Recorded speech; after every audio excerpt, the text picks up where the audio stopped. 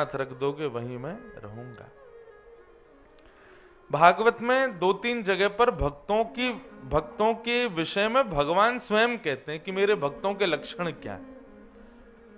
कोई और कहे तो एक बार को ना भी सुने, स्वयं भगवान ही कह रहे हैं कि मेरे भक्त के लक्षण क्या है। तो सुनने चाहिए ना। तो आज हम उन्हीं भक्तों के लक्षणों पर थोड़ी चर्चा करते हैं। एक जगह तो कपिल देवभूति संवाद में माता देवभूति सामने बैठी है और भगवान कपिल से प्रश्न कर रहे हैं। तब माता कपिल ने भगवान से पूछा कि भगवान, आपकी आराधन करने वाले भक्तों के गुण बताइए। और फिर एक प्रश्न और किया कि उन गुणों में यह भी बताइए, आपको कौन सा प्रिय है? तो भगवान ने चार प्रकार के भक्त बताए हैं यहाँ पर। और इन चार प्रकार के भक्तों को हम लोग सुने। फिर एकादश स्कंद में भगवान कृष्ण फिर चार प्रकार के भक्त बताते हैं। उनके भी गुण सुनेंगे। हम में कौन से लक्षण हैं? ये खोजिए यहाँ पर।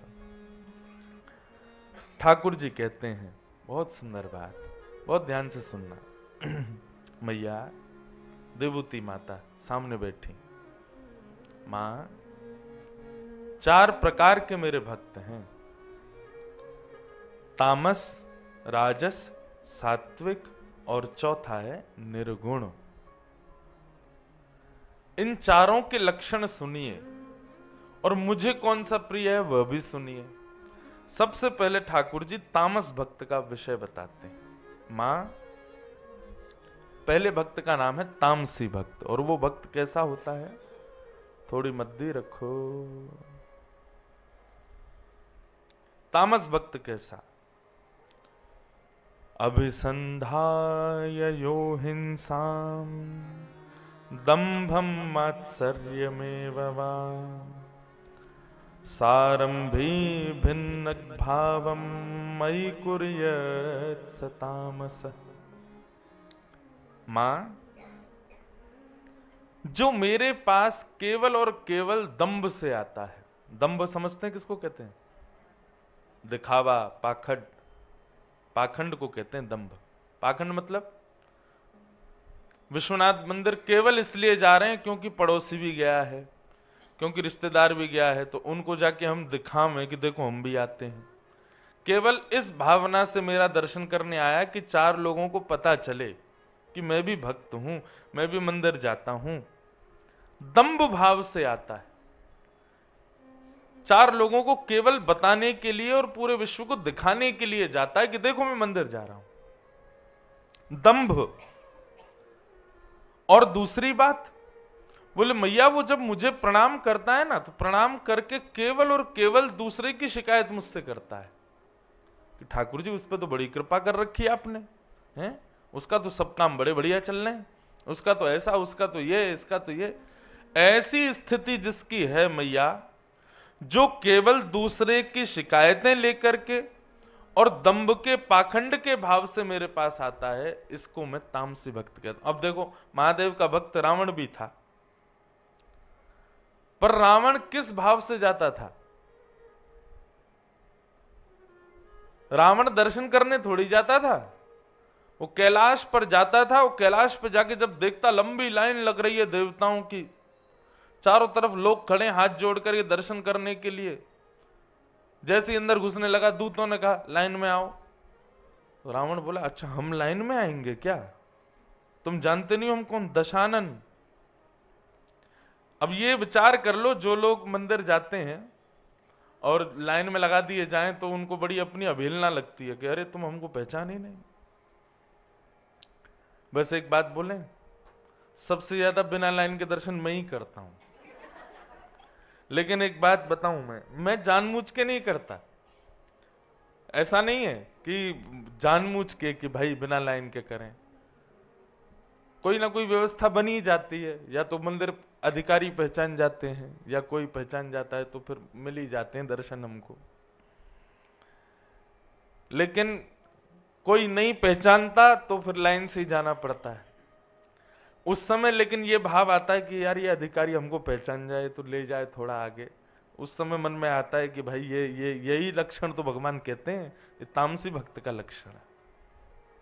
जो केवल और केवल अपने यश, कीर्ति और केवल अपने अभिमान में मेरे सामने आता है। माँ और जो दूसरे की हिंसा की भावना से आता है। नाथ, मुझ पर कृपा भले ही मत करो, लेकिन उस पर भी मत करो। आप उस पर क्यों कर रहे हो? मुझ पर नहीं कर रहे, कोई बात नहीं, उस पर क्यों कर रहे हो फिर? ऐसी भावना जो मेरे सामने रखता है, मैया, वो भक्त तो है बेचारा, लेकिन तामसी है, मुझको बिल्कुल प्रिय नहीं है। रावण जब जाता था तो वो, उसकी भावना ये नहीं होती, मैं महादेव को देखूँ, उसको ये होता, सबको पता चले कि मैं आया हूँ। इसीलिए वो ऐसी ऐसी ध्वनि निकालता था श्लोकों की। एक श्लोक हमने गाया, बड़ा प्रसिद्ध हुआ महादेव का। रावण रचित श्लोक था। रावण ऐसे श्लोक गाता था कि सामने खड़े लाइन वाले लोग भी उसको प्रणाम करने लग जाएँ। पृथ्वी डामाडोल हो जाए, आकाश के बादल गर्जना करने लग जाएँ। यस्यास्ते ड्राट ड्राट डुट डुट मम लम टम टम टम टम टम डम शम डम शम डुडम शम डुहि डुहि चकितम। भूपके भूपनालम तैलम तैलम तु तैलम कुकु कुकु कुकु क्वांग क्वांग क्वांग क्वांग क्वांग ध्यायन्ते, यस्य गान्ते, वसति से सकलम पातुनो चंद्रचूड़ पार्वती जी आती, महादेव, जल्दी चलो, महादेव, ध्यान में बैठो। क्या हो गया? बोले कि, बर्फीले पहाड़ गिर रहे हैं ऊपर से। बोले, क्यों? बोले, रावण आया है, श्लोक गा रहा है। शंकर जी कहते, तुम मत आया करो, हम ही रोज आ जाया करेंगे लंका। वहीं दर्शन कर लिए, तुम यहाँ मत आया करो। गुरुदेव, ये तो बड़ी कृपा महादेव ही जाते थे रोज।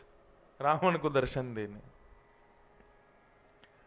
काय बात का भक्त, ऐसी भक्ति किस काम की जहाँ तुम्हारे प्रियतम ही, तुम्हारे स्वामी ही कष्ट पा रहे हो? नहीं। मैया, ये तामसी भक्त का लक्षण है। जो मेरे सामने आकर के भी अपने अहम भाव का त्याग नहीं करता, अपने अहम में रहता है कि मैं कुछ हूँ, ये स्थिति तब भी उसके मन में रहती है ऐसा व्यक्ति तामसी है और वो मुझे प्रिय नहीं। ठाकुर जी के सामने कई लोग आते हैं मेरे से मिलने। अब मैं तो एक साधारण बालक हूँ। वो मुझसे मिलने आते तो हम तो बहुत सोच के आए थे, क्या बोलेंगे? भूल गए। ठाकुर जी के सामने जाके भूल जाओ। कल आपको मैं किस भाव से बताऊँ? कल मैं नौका विहार से सीधा भागा। विश्वनाथ, मैंने कि पता नहीं अब कब दर्शन हूँ अभी चलो। हम गए। मंदिर का पूरा प्रोटोकॉल पहचान गया कल हमको। मैंने की जय हो। ले गए सब भीतर। अच्छा विश्वनाथ दर्शन करने जाता हूँ, कुछ ना कुछ मेरे साथ होता है। सात आठ लोग थे हम, पर हम दो ही रह गए प्रोटोकॉल के प्रोटोकॉल के पास, बाकी के पाँच छह कहीं और चले गए। अब ये हमको ढूंढे, हम इनको ढूंढे, मैंने क्या हो गया? अब हम तो बिल्कुल मंदिर के पास पहुँच गए। इतने में ये लोग भी अंदर आने लगे। उसी समय शंकराचार्य जी आए हुए थे मंदिर में, वो पूजा आराधना कर रहे थे। ये पुलिस वालों से सीधे जाकर के बोले, अरे, हम शंकराचार्य जी के साथ आए हैं। पुलिस वालों ने तुरंत दरवाजे खोले, जल्दी जाओ भीतर, लौटते समय हमारे लिए प्रसाद और ले आना। अब ये भीतर घुस रहे, इतने में हम आ गए। अरे, मैंने की, रुको रुको रुको, मिल गए, भैया, जल्दी आओ। अब ये बाहर आ पुलिस वाले कहें, आप तो शंकराचार्य जी के संग थे। बोले, वो खड़े हमारे शंकराचार्य। मेरे को दिखा में बोले, जी। पर लेके गए तो भीतर दर्शन हो गए, महादेव के कपाट खोल के दर्शन करा दिए। पर संतोष नहीं हो रहा था मन को। वैसे तो देखो संतोष करना चाहिए, जैसे दर्शन हो जाए। पर हमें एक बात आ जाती है बार बार ब्रजवासी होने की। लाला, कछु कृपा कर भैया, देख ले तेरो मित्र है, विश्वनाथ भगवान। या तो कह देने हमें पास बुला ले। हम दर्शन करके बाहर आने लगे, तब एक व्यक्ति आया। बोले, महाराज जी, आप आ जाओ। मैंने, क्यों? बोले, आप जाके महादेव को स्पर्श कर लो और थोड़ी देर उनके पास बैठ लो। मेरी सही में बोले हाँ चलो। लेके गए, खोल के कपाट धुलाई चल रही थी सप्तऋषि आरती के लिए। हमको जाके वहाँ बैठा दिया, बोले, अब आप बैठ के खूब स्पर्श करो, महादेव का, खूब मैंने की जय हो। यही तो आनंद चाहिए, यही तो सुख चाहिए। खूब दर्शन किए।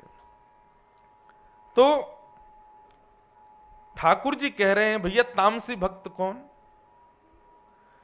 जो दूसरे की हिंसा की भावना से मेरे पास आता है। मेरे सामने आकर के भी उसका अहम नष्ट नहीं होता।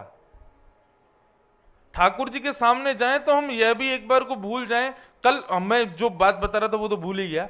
कल ठाकुर जी के सामने जब मैं गया तो यहाँ कथा में बोल के गया था कि महादेव के निज ठाकुर जी श्री राधा वल्लभ लाल है। कल महादेव के सामने मुख से यही निकल रहा था, जय जय राधा वल्लभ श्री हरिवंश। जय श्री वृंदावन, श्री वन चंद बाहर आके मैं मैं मैं खुद भूल गया कि मंदिर में यहाँ ओम नमः शिवाय बोलते लेकिन कथा में बोल के गया ना तो वही चीज़ लागू हुई। राधा वल्लभ लाल जी का जब नाम उच्चारण किया, महादेव ने स्पर्श कराया। अद्भुत आनंद हुआ। ठाकुर जी के सामने जाकर के तो यह भी भूल जाओ कि हम कौन हैं? इतनी भी स्मृति आपको ना रहे। वहाँ पर भी ये अहम भाव है। मेरी साड़ी खिंच रही है, मेरे कपड़ा खिंच रहे हैं मेरे ये हो रहा है, मुझे घुटन हो रही, ना। ठाकुर जी के सामने जाके तो बस शून्य हो जाओ, कोई और भाव नहीं। ठाकुर जी कहते हैं, जो अहम भाव में रहता है, हिंसा की भावना से आता है और केवल दूसरों को दिखाने के लिए मेरे दर्शन करने आता मैया, वो तामसी भक्त, तामस। दूसरा ठाकुर जी बताते हैं, राजस भक्त। ये राजस भक्त का लक्षण कैसा होता है? तो भगवान श्री कृष्ण कहते हैं, मैया, कि विषयान विसंधाय यस ऐश्वर्यमेव वा। अर्चादावर्चयेद्यो पृथक भावस राजस। ठाकुर जी कह रहे हैं, राजस भक्त का लक्षण क्या है? माँ, जो केवल सांसारिक ऐश्वर्य की कामना से मेरे पास आता है। सुख संपत्ति घर आवे, कष्ट मिटे तन का। ओम जय जगदीश हरे। जिसको केवल सांसारिक संपत्ति चाहिए, ऐश्वर्य चाहिए, यश चाहिए, नाम चाहिए, कीर्ति चाहिए, केवल इन्हीं कारणों से जो मेरा दर्शन करता है मैया। और दूसरा लक्षण इसका बताया, जो केवल मेरी अर्चा विग्रह में निष्ठा रखता है, और उसके अलावा ना मेरे वैष्णवों में निष्ठा, ना संतों में निष्ठा, ना ब्रजवासियों में निष्ठा, किसी में निष्ठा नहीं, केवल मेरे विग्रह में निष्ठा रखता है। कई लोगों को मंदिर में देखा, विग्रह की तो खूब पूजा करेंगे। बाहर आके पंडित जी कोई गाली दे रहे हैं, बाहर आके ब्रजवासियों को सुना रहे हैं, बाहर आकर के संत महापुरुषों को ही सुना रहे हैं। आपकी भक्ति कभी स्वीकार नहीं होगी। जो केवल सांसारिक संपत्ति की कामना करता है मेरे से, घर बन जाए, गाड़ी मिल जाए, ये हो जाए, वो हो जाए, मेरे ये काम रुके, वो बन जाए भैया, एक बात मेरी बहुत ध्यान से सुनो। संसार में जितनी भी चीज़ें आप प्राप्त करना चाहते हो, सब आपका कर्म प्रदान कर सकता है। हम ठाकुर जी को बीच में क्यों लाते हैं कि आप करवाओ? ठाकुर जी हमको दूसरी कामनाओं की पूर्ति के लिए मिले हैं। ठाकुर जी ये सांसारिक विषयों को देने के लिए नहीं है, वो हमारे कर्म पर है। लक्ष्मी पूजा करने से ही धन बढ़ेगा तो बिल गेट्स ने कभी लक्ष्मी के दर्शन भी नहीं किए होंगे। पर आज सबसे ज़्यादा लक्ष्मी पूरे विश्व में उसके पास है। अब तो कोई और हो गया है, कोई और आ गया है ऊपर। लेकिन देव देव आलसी पुकारा, सुंदरकांड में कहते हैं कि भाई देवताओं के भरोसे पड़े रहते हैं, वो महा आलसी हैं। कर्म की उपलब्धियों की प्राप्ति के लिए ठाकुर जी की आराधना कभी मत करो। वो आपके कर्म पर निर्भर होता है। ठाकुर जी की आराधना तो केवल उनकी प्राप्ति के लिए, उनकी कृपा की प्राप्ति के लिए, उनके दर्शन की प्राप्ति के लिए करो। जो नाम जप करते हैं, परिक्रमा करते हैं, एकादशी व्रत करते हैं और आदि आदि वैष्णव धर्मों का पालन करते हैं, पर उनके बदले चाहते सांसारिक वस्तु हैं। तो माफ़ कीजिए, आपके द्वारा किए गए वैष्णव धर्म, वो उच्च श्रेणी, श्रेष्ठ श्रेणी के नहीं माने जाएँगे। एक जगह मैं कथा करने के लिए गया तो जैसे सब माला जपते हैं, नाम जप करते हैं तो आजकल काउंटर आ गया, वो ऐसे उंगली में लगा रहता है और लोग उस पर बटन दबाते रहते हैं। अच्छी बात है, कोई बुराई नहीं है उसमें। देखो, हमारे पूज्य पिताजी कहते हैं, माला कब, माला क्या है? साधन है। साध्य नहीं है। माला साधन है। और हम सदा साधन में ही रहेंगे। तो साध्य की प्राप्ति कैसे होगी? दिल्ली से बनारस आना, फ़्लाइट फ़्लाइट क्या है? साधन है। साध्य क्या है? बनारस। तो साधन, जब मैं साधन से उतरूँगा, तब तो साध्य मिलेगा ना? मैं साधन में ही बैठा रहूँगा। साध्य कैसे मिलेगा? समझ में आ रही है साधन साध्य वाली बात? माला क्या है? माला साधन है। बोले तो फिर इसका साधन का प्रयोग कैसे? बोले, इतना जपो इतना जपो इतना जपो इतना जपो इतना जपो कि आपकी श्वास की तरह जीव पर नाम मडराता रहे और एक दिन ऐसा आए कि ये माला छूट जाए और उसके बिना भी नाम चलता रहे। ये जीवन की उपलब्धि। मैंने दर्शन किया। हमारे गोवर्धन के परम पूजनीय प्रातः स्मरणीय श्री ठाकुरदास बाबा। अस्सी से ऊपर की आयु में जब भगवत धाम को प्रस्थान किए, तब उनके प्रस्थान से कुछ समय पहले ही मैंने दर्शन किया। मुझे तब नहीं पता था। जब मैं कथा करने लगा, तब मुझे उनका स्मरण आया। तो जब मैं दर्शन करने गया तो मैं छोटा बालक ही था। जब मैं दर्शन करने गया ठाकुरदास बाबा के तो अचेत अवस्था में पड़े थे। पर उनकी उंगली ऐसे हिल रही थी। उंगली चल रही थी। और उंगली जैसी चली है। क्या हुआ? एक संग सबके फ़ोन चले। हैं?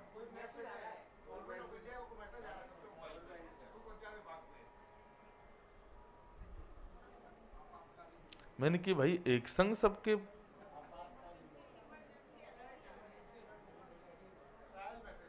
इमरजेंसी क्या भूकंप आ रहा है? साइलेंट कर लीजिए अपने फ़ोन। अगर बीच कथा में आप लोग देखेंगे तो ज़रूर इमरजेंसी आ जाएगी। हम्म? बोलो, वृंदावन बिहारी लाल की जय। तो हम क्या निवेदन कर रहे थे? मैं तो भूल और गया। साधन और साध वाह भैया, तुम कथा सुनते हो, हैं? तो बलैया ले तेरी। तो साधन और साध्य। तो ठाकुरदास बाबा का मैंने दर्शन किया। उनका जब मैं दर्शन करने गया, अचेत अवस्था में थे, पर उनकी उंगली ऐसे चल रही थी। पूरे शरीर को पैरालाइज हो गया था, पर उंगली ऐसे ही चल रही थी। डॉक्टरों से सबने पूछा कि जब इनके पूरे पूरे अंग में पैरालाइज हो चुका है, ये पूर्ण रूपेण अचेत हो चुके हैं तो ये उंगली क्यों चल रही है? बोले, ये हमारी साइंस से परे की बात है, हमको समझ में ही नहीं आ रहा, ये उंगली कैसे चल रही है? वो उंगली क्यों चल रही थी? नाम इतना जपा था कि आज शरीर पूरा अचेत हो गया, लेकिन नाम ने फिर भी उनको नहीं छोड़ा। नाम अभी भी चल रहा है। भगवान नाम अभी भी उनके जीवन में आश्रय लेके बैठा।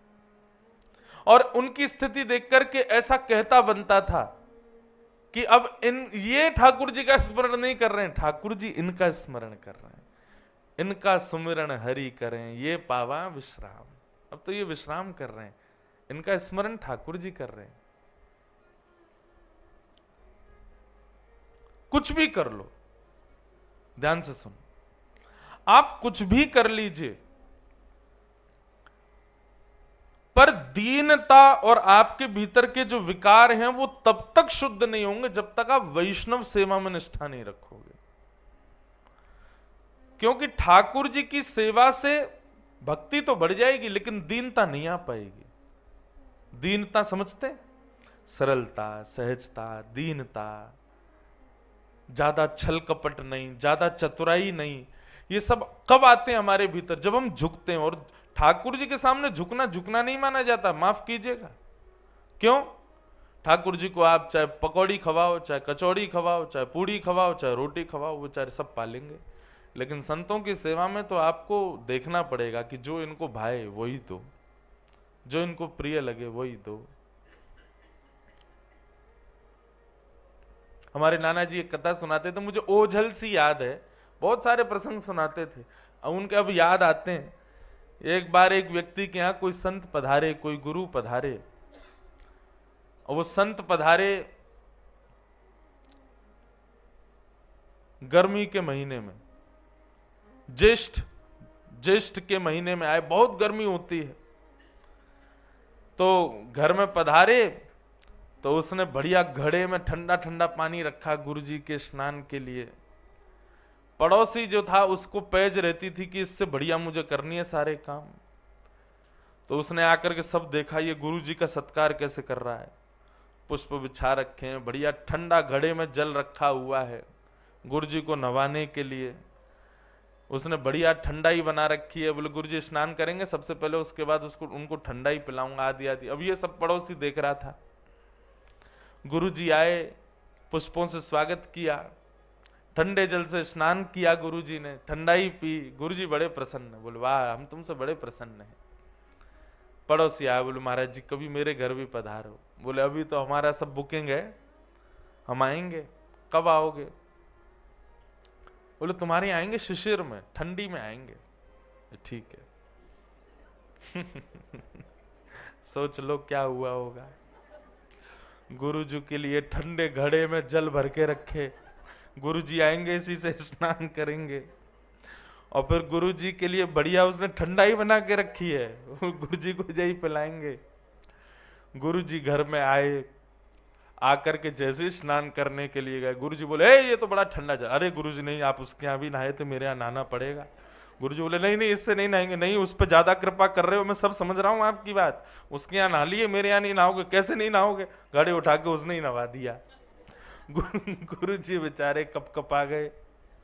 बोले, लो, अब ठंडा ही पियो। बोले, अरे चाय पिला भैया, गर्म दूध पिला। मर जाएँगे, हम ठंड लग रही। नहीं, आप उस पर ज़्यादा कृपा, उसके यहाँ तो आप लस्सी पी रहे थे। हमारे यहाँ चाय मांग रहे हो? नहीं, पीनी तो पड़ेगी। हुआ क्या? गुरु जी को निमोनिया हो गया। भैया, ठाकुर जी की सेवा बड़ी सरल है। वैष्णवों की सेवा बड़ी कठिन है।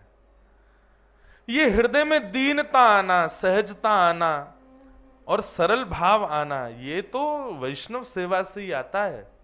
ठाकुर जी की सेवा से नहीं आता है। आपको पता है गजेंद्र मोक्ष की कथा जो आती है ना, ये गजेंद्र जो था, ये अपने पूर्व जन्म में ठाकुर जी की खूब सेवा करता था, पर वैष्णव सेवा नहीं करता था। हुआ क्या? एक दिन ठाकुर जी की आराधना कर रहा था और तभी कोई संत आ गए। संत आए, उसको पता चल गया कि कोई संत आए हैं, लेकिन फिर भी ठाकुर जी की सेवा ही करता रहा। एक बार भी, एक क्षण के लिए ये नहीं बोला कि महाराज जी विराजो मैं अभी आ रहा हूँ।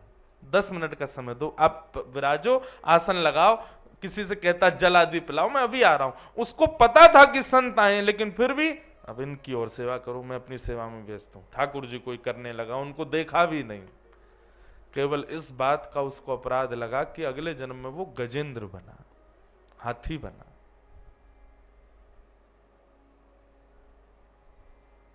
वैष्णव अपराध बंधु, कभी ना बने हमसे। इसलिए ठाकुर जी की सेवा एक दिन को थोड़ी सी पहले से कम हो जाए, चलेगा। लेकिन कोई वैष्णव हो, वैष्णव किसको कहते हैं? वैष्णव का मतलब क्या होता है? वैष्णव मतलब अपने रूप से, अपने स्वभाव से, अपने गुण से, अपनी वाणी से किसी भी रूप में ठाकुर जी से संबंध रखता है, वो वैष्णव है। आप एक दूसरे के सब वैष्णव हो। माफ़ कीजिए, अभी तक आप में से एक दूसरे के घर आप जाते हो तो ऐसे मिलते हो जैसे सखा आदि, लेकिन एक क्षण के लिए ऐसे मिलो जैसे कोई वैष्णव आया है, प्रणाम करो। तिलक है, गले में कंठी माला है, हृदय में नाम है ठाकुर जी का, चिंतन में भगवत कथा है, वैष्णव है, उसका वैष्णव रीति से स्वागत करो। वैष्णव। तो वैष्णव सेवा ही हमको सिखाती है। ठाकुर जी की सेवा से ज़्यादा कुछ सीखने को नहीं मिलता है।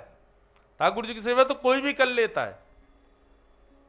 डलिया में लिए घूम रहे ठाकुर जियों को, सेवा तो उनकी भी हो रही है। लेकिन नहीं। ठाकुर जी की सेवा आसान है, वैष्णव सेवा कठिन है। वो वो करना प्रारंभ करो। तो भगवान कहते हैं, ये राजस भक्त जो है, केवल मेरी मूर्ति में निष्ठा रखता है। इसके अलावा मेरी किसी भाव में निष्ठा नहीं रखता।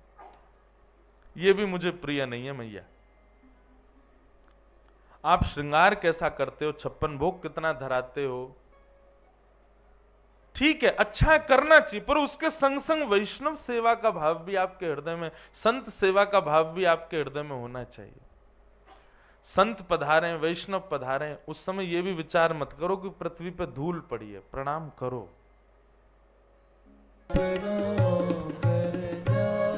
भक्तन में मति, भक्तन में गति। संत चरण रज सदा लुभाने। गिरधर जब अपनों करे जाने। हमारे व्रज में एक भक्त हुआ। जब वो सारे भक्तों से मिलता सब अपने ठाकुर जी की बात बताते, हमारे लाल जी ऐसे, हमारे ठाकुर जी ऐसे। वो चुपचाप बैठा रहता, सब बोलते, तू क्यों नहीं बताता तेरे ठाकुर जी कैसे हैं? तेरी सेवा कैसी चलती है? बोले, बस बढ़िया चलती है, मैं, मेरे को बताने का मन नहीं है। बोले, अरे देख, हम सबके घर पे उत्सव भी होते हैं, तू कभी उत्सव भी नहीं करता।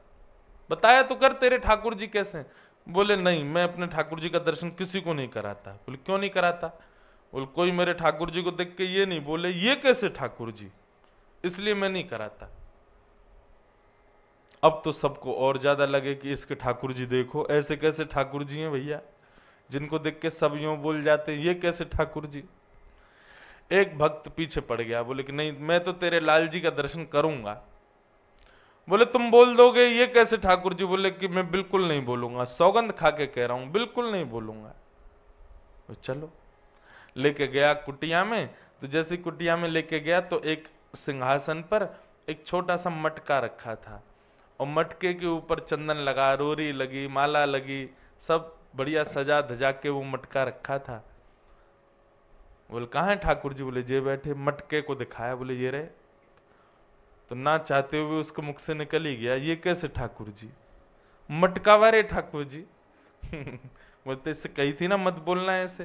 बोले, अरे भैया यार, गलती हो गई, लेकिन बता तो सही, ये कैसे ठाकुर जी हैं? मटका? बोले, मटका नहीं है। हमारे वृंदावन में जितने भी संत आते हैं ना, और जब वो चल के चले जाते हैं तो उनकी रज में इकट्ठी करके इसमें भर लेता हूँ। और उन्हीं संतों की चरण रज को मैं नित्य अपने श्यामा श्याम के रूप में देख करके, बोले, इसमें कुछ कण सफ़ेद हैं, वो श्री किशोरी जी हैं। कुछ कण श्याम हैं वही श्याम सुंदर हैं।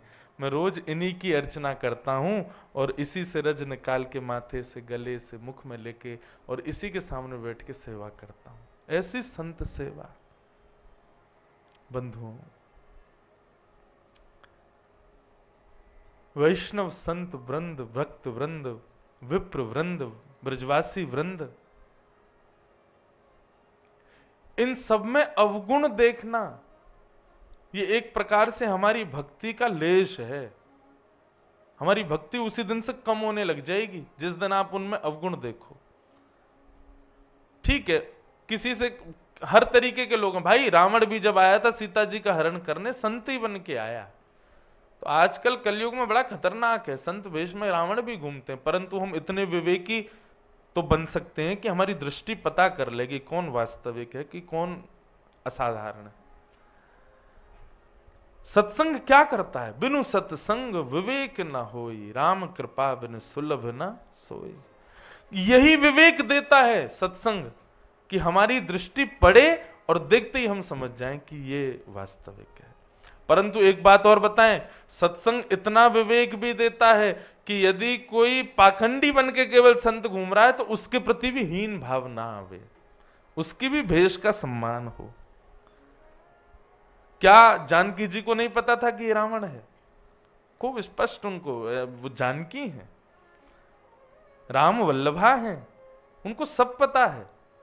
लेकिन केवल भेष के कारण सीता जी ने हरण करने दिया, रावण की ताकत कर ले। ना। केवल भेष, सीता जी ने उसका सम्मान किया कि संत भेष में आया है। ऐसे बंधुओं, भेष का, स्वरूप का और वास्तविक संतों का, इन सबका बोध सत्संग ही कराता, वही विवेक है। और यही विवेक राम जी की कृपा के बिना नहीं मिलता। इसलिए आपको प्राप्त हो रहा है तो निश्चित है, ठाकुर जी की कृपा है। संत वैष्णवों को देखो और उनको प्रणाम करो। तो भगवान कह रहे हैं कि राजस भक्त जो होता है, ये केवल मेरी मूर्ति में निष्ठा रखता है। मेरे वैष्णव संत वृंद भक्तों में कोई इसकी निष्ठा नहीं है। आप मूर्तियों की बात कर रहे हैं, संत महात्माओं की बात कर रहे हैं। एक बार श्रीमद वल्लभाचार्य जी महाराज, श्री जी बाबा की सेवा करके जैसे ही निवृत्त हुए तो अपने कक्ष में बैठे थे। चार लोग रोते रोते उनके पास आए। और रोते हुए कहने लगे, हमको सेवा से दूर मत करो, हमको सेवा से विमुख मत करो। वल्लभाचार्य जी बोले, कौन हो भैया? रो क्यों रहे हो? क्या सेवा करते हो तुम? नहीं, हम बस आप हमको सेवा से दूर मत करो, ऐसा कहकर के वे अंतर ध्यान हो गए। श्रीमद वल्लभाचार्य जी महाराज ने चार दिन तक भोजन नहीं किया। सबने आकर के प्रणाम करके निवेदन किया, बोले, भगवान, आप प्रसाद ग्रहण नहीं कर रहे, कारण क्या है? तब उन्होंने बताया, चार दिन पहले चार लोग आके रो रहे थे मेरे आगे, हमको सेवा से दूर मत करो। सबने पूछा, कौन थे वो? बोले कि, मुझे चिंतन में फिर बाद में समझ आया कि श्री जी बाबा की रसोई बनती है ना तो उसमें चावल धोए जा रहे थे। और धोते समय जब चावल का मांड अलग किया गया, पानी अलग किया गया, उसमें चार दाने चावल के भी नाली में चले गए। और वे चारों रोते रोते मेरे सामने आए कि हमको सेवा से दूर मत करो। हम भोग लगी वस्तु को ऐसी छोड़ देते हैं। अरे भैया, ये अन्न के कण भी, जड़ चेतन हर वस्तु ठाकुर जी की सेवा में प्रस्तुत होती है।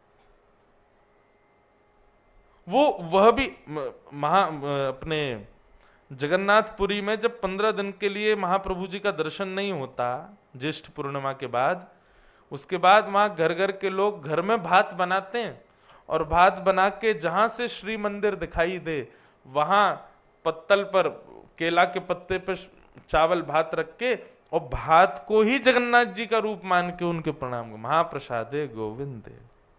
ये साक्षात गोविंद है। सोचो। यहाँ पर ठाकुर जी के सन्मुख पधराने वाली सब्ज़ी दाल चावल तक को वैष्णव माना जाता है। ऐसी वैष्णव सेवा रीति है। लेकिन ठाकुर जी कहते हैं, जो केवल मेरी मूर्ति से मतलब रखता है और किसी भाव से कोई उसको मतलब नहीं है, ऐसे को मैं राजस भक्त कहता हूँ, ये भी मुझे प्रिय नहीं। और उसके बाद आता है सात्विक भक्त। तीसरा भक्त तो पहला तामसी, राजस, सात्विक। सात्विक भक्त का लक्षण क्या है? कर्म निर्हार मुद्दिश्य परस्मिन वात दर्पणम व्यमिता वा पृथक भाव सात्विक। कर्म निर्हार मुद्दिश्य परस्मिन वात दर्पणम। भगवान कह रहे हैं, जो प्रत्येक क्रिया कर्म करने के बाद में श्रेय मुझको देता है। कोई उपलब्धि उसने प्राप्त की? संसार के लोग तो आके उसको बधाइयाँ दे रहे थे, भैया, तुमने इतनी बड़ी उपलब्धि प्राप्त की, परंतु वो नेत्र बंद करके मेरा स्मरण करे, बोले, ठाकुर जी, सब आपकी कृपा है। हमने कुछ नहीं किया। सब नाथ की कृपा है। हमारे वश में कुछ भी नहीं है। कोई उसकी योग्यताओं की प्रशंसा करे, उसके कर्म की प्रशंसा करे, उसके श्रेष्ठ भावों की प्रशंसा करे, वो हर स्थिति में केवल यही भाव रखता है कि नहीं, केवल कृपा है। मेरे पास तो ये ये ये योग्यता है ही नहीं। ठाकुर जी ने मुझ पर कृपा कर दी है। तद अर्पणम अपनी प्रत्येक क्रिया का अर्पण मेरे चरणों में कर दे कोई भी काम बन गया, कोई क्रिया बन गई, कोई उससे श्रेष्ठ भाव हो गया, सबके पीछे केवल यही रखे, ठाकुर जी ने कराया है।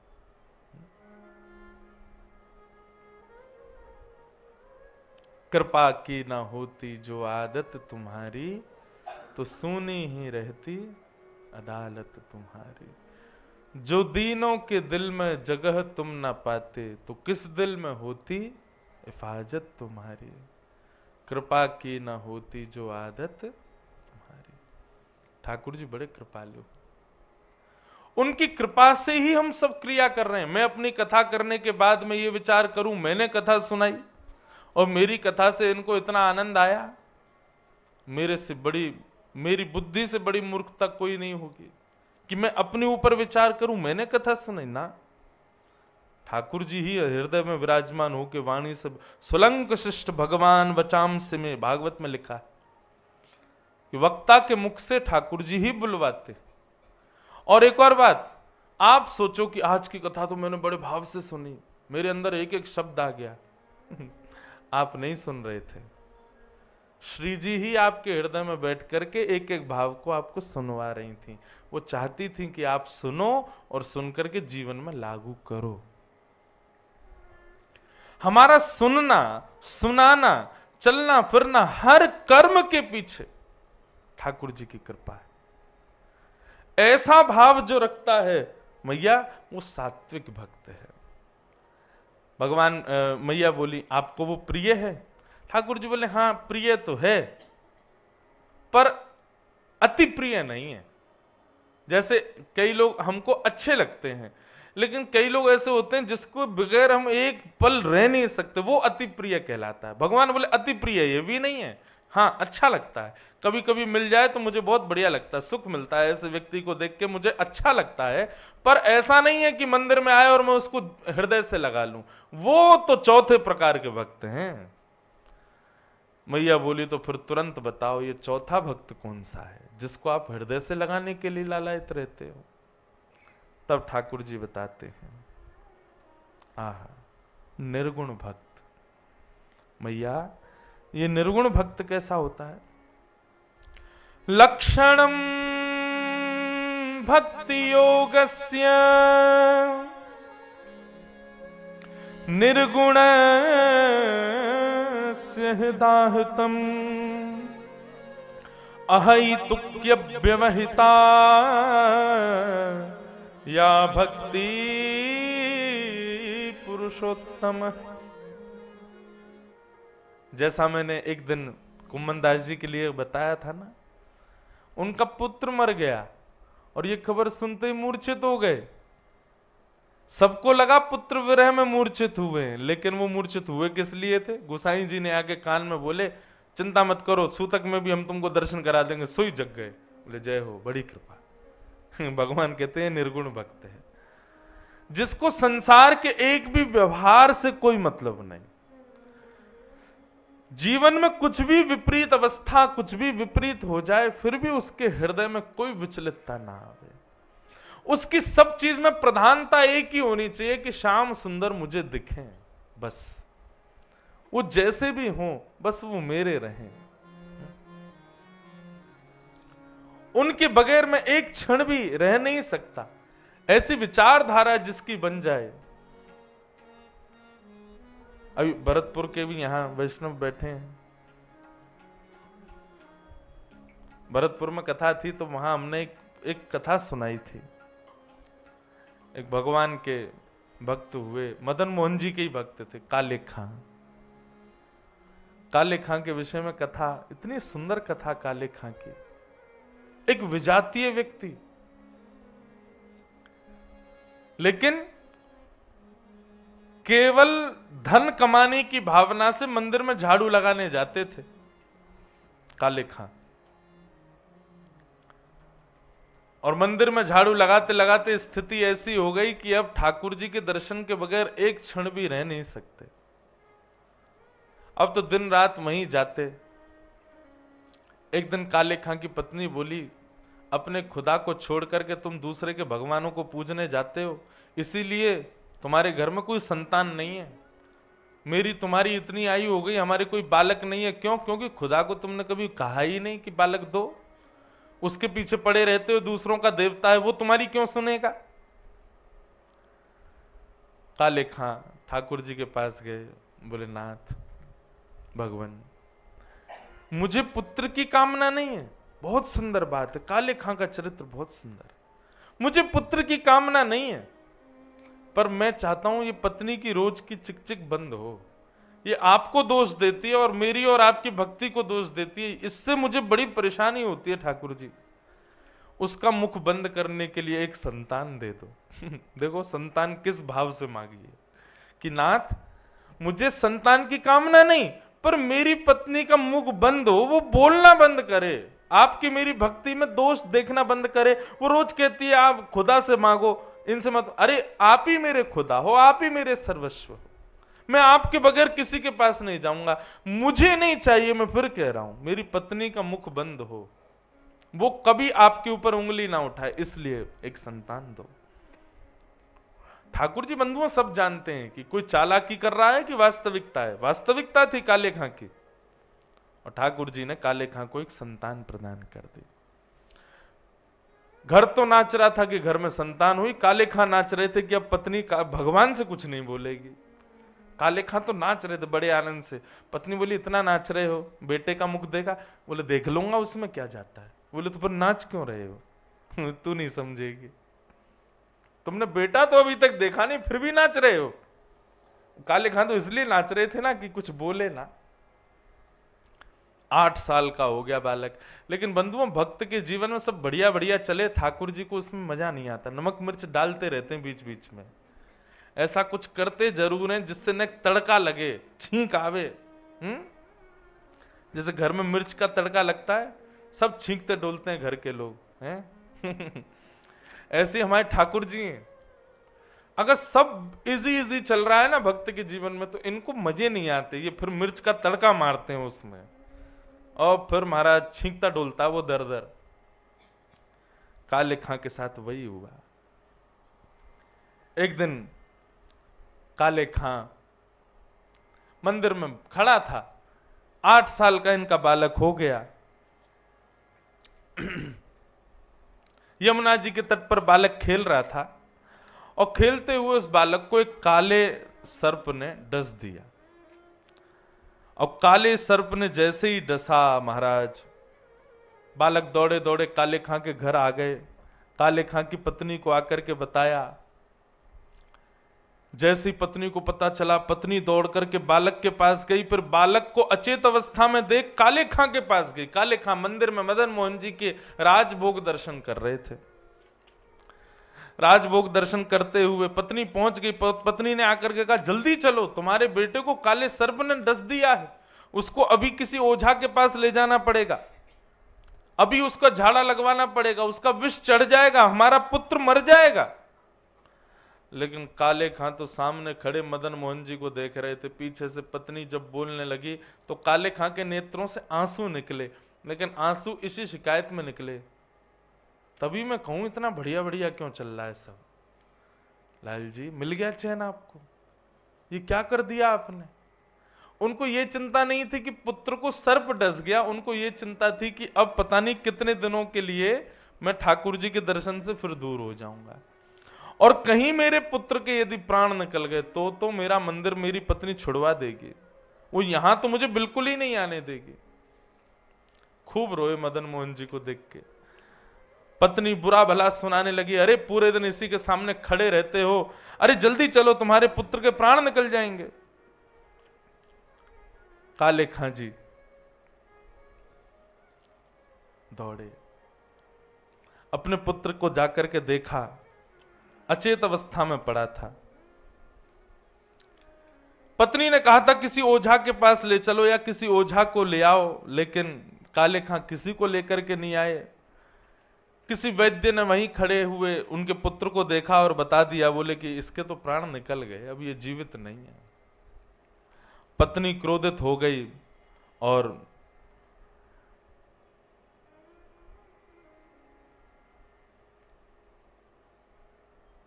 अपने बालक को लेकर के मदन मोहन जी के मंदिर गई।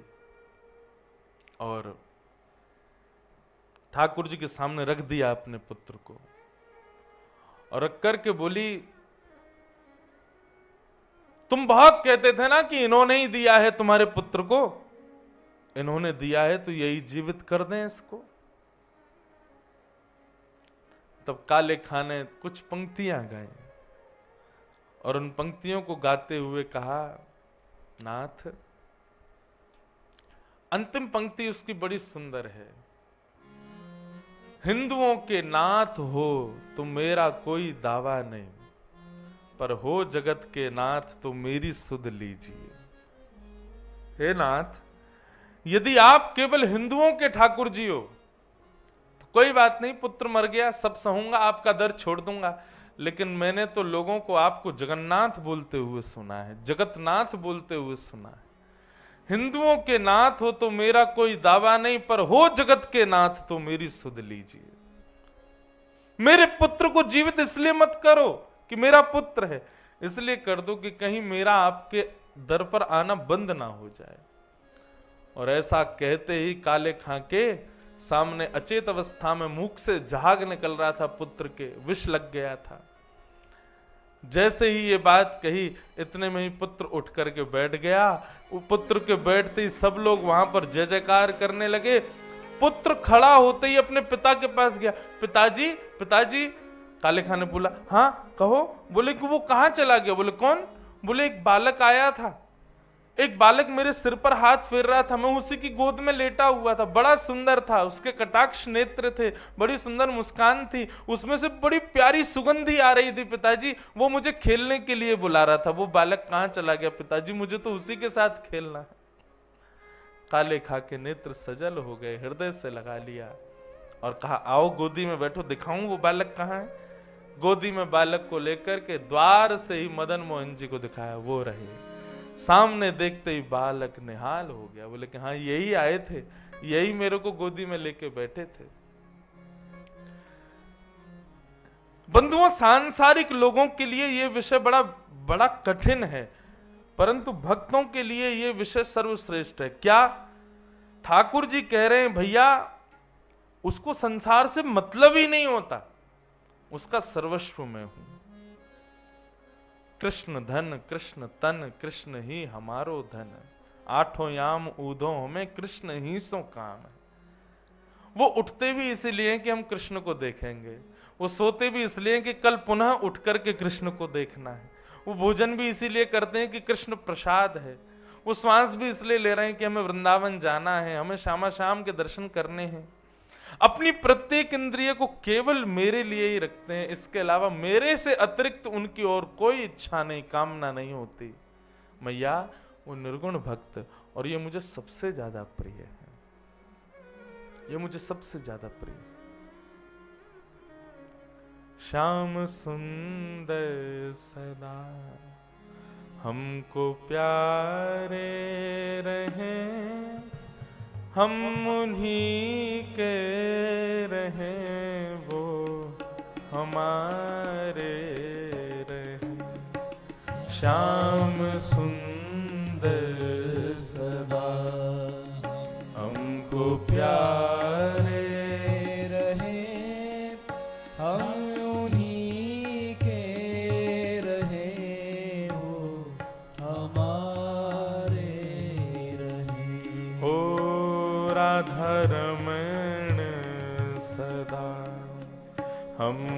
प्यारे रहे, हम उन्हीं के रहे, वो हमारे रहे। राधा गाँव भाव से बंधु आज विश्राम है इस उत्सव का। जितनी याचना करनी आज कर लो।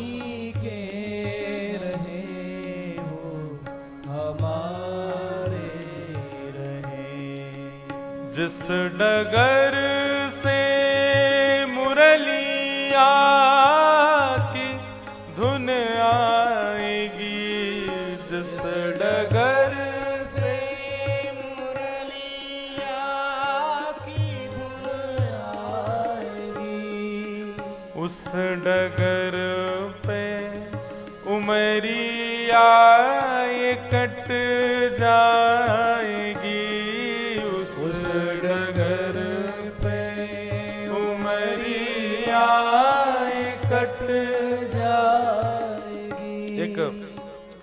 हमारी ये माता जी नागपुर वाली कल आई।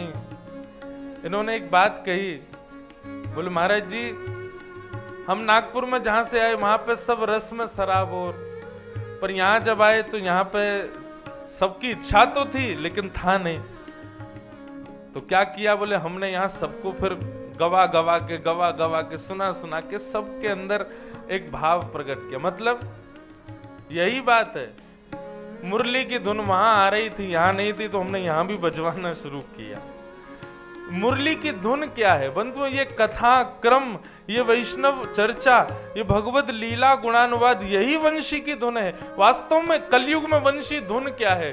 वैष्णवों की और हमारे ब्रज के या पूरे भारतवर्ष के विशिष्ट कथा वक्ताओं की कथा, ये वंशी की धुन ही है। ये कथा ही धुन है ठाकुर जी की वंशी की। जिस प्रकार द्वापर में कृष्ण वंशी बजाते तो वो वंशी की ध्वन गोपियों के चित्त के सारे तिमिर दूर कर देती थी। आजकल ये कथा सबके हृदय के तिमिर दूर करती है। तो ये वंशी से कम है क्या?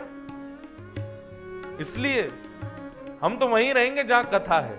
जिस डगर से मुरलिया की धुन आएगी, जिस डगर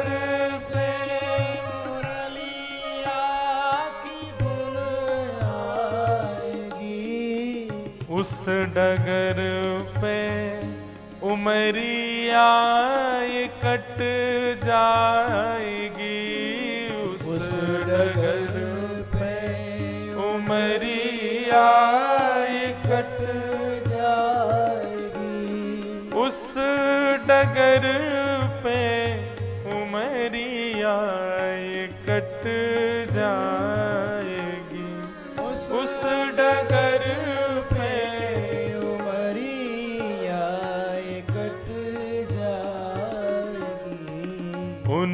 तस्वीर मन में बसाए रहे हम उन्हीं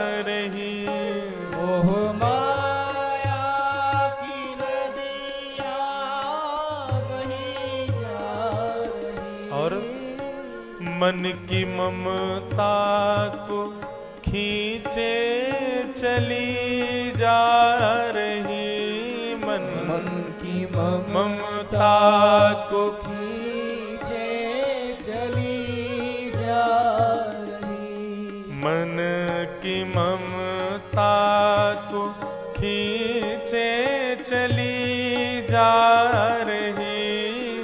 मन की मम ममता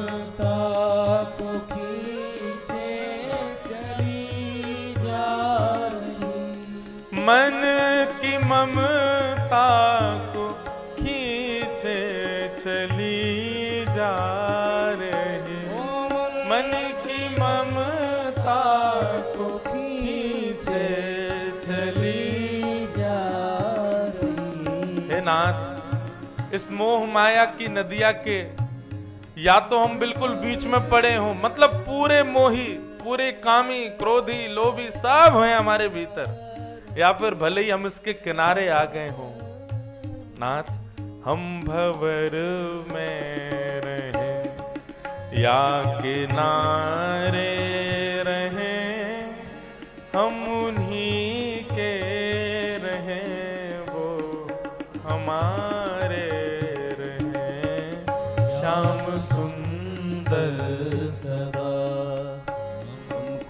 हमको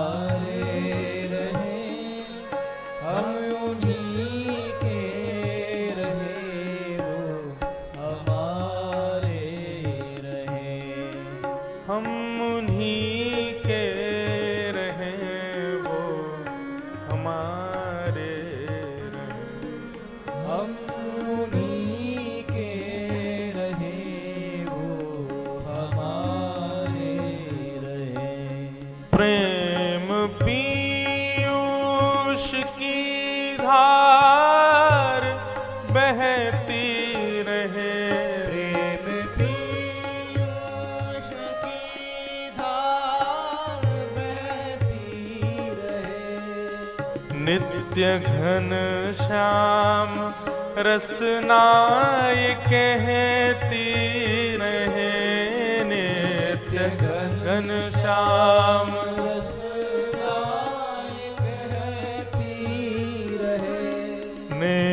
घन श्याम रसनाय कहती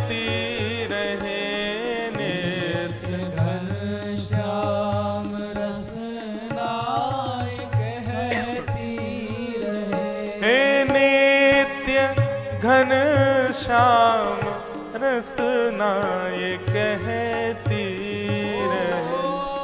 नित्य घन श्याम रसनाय कहती रहे। अपने तन मन को मोहन पे वारे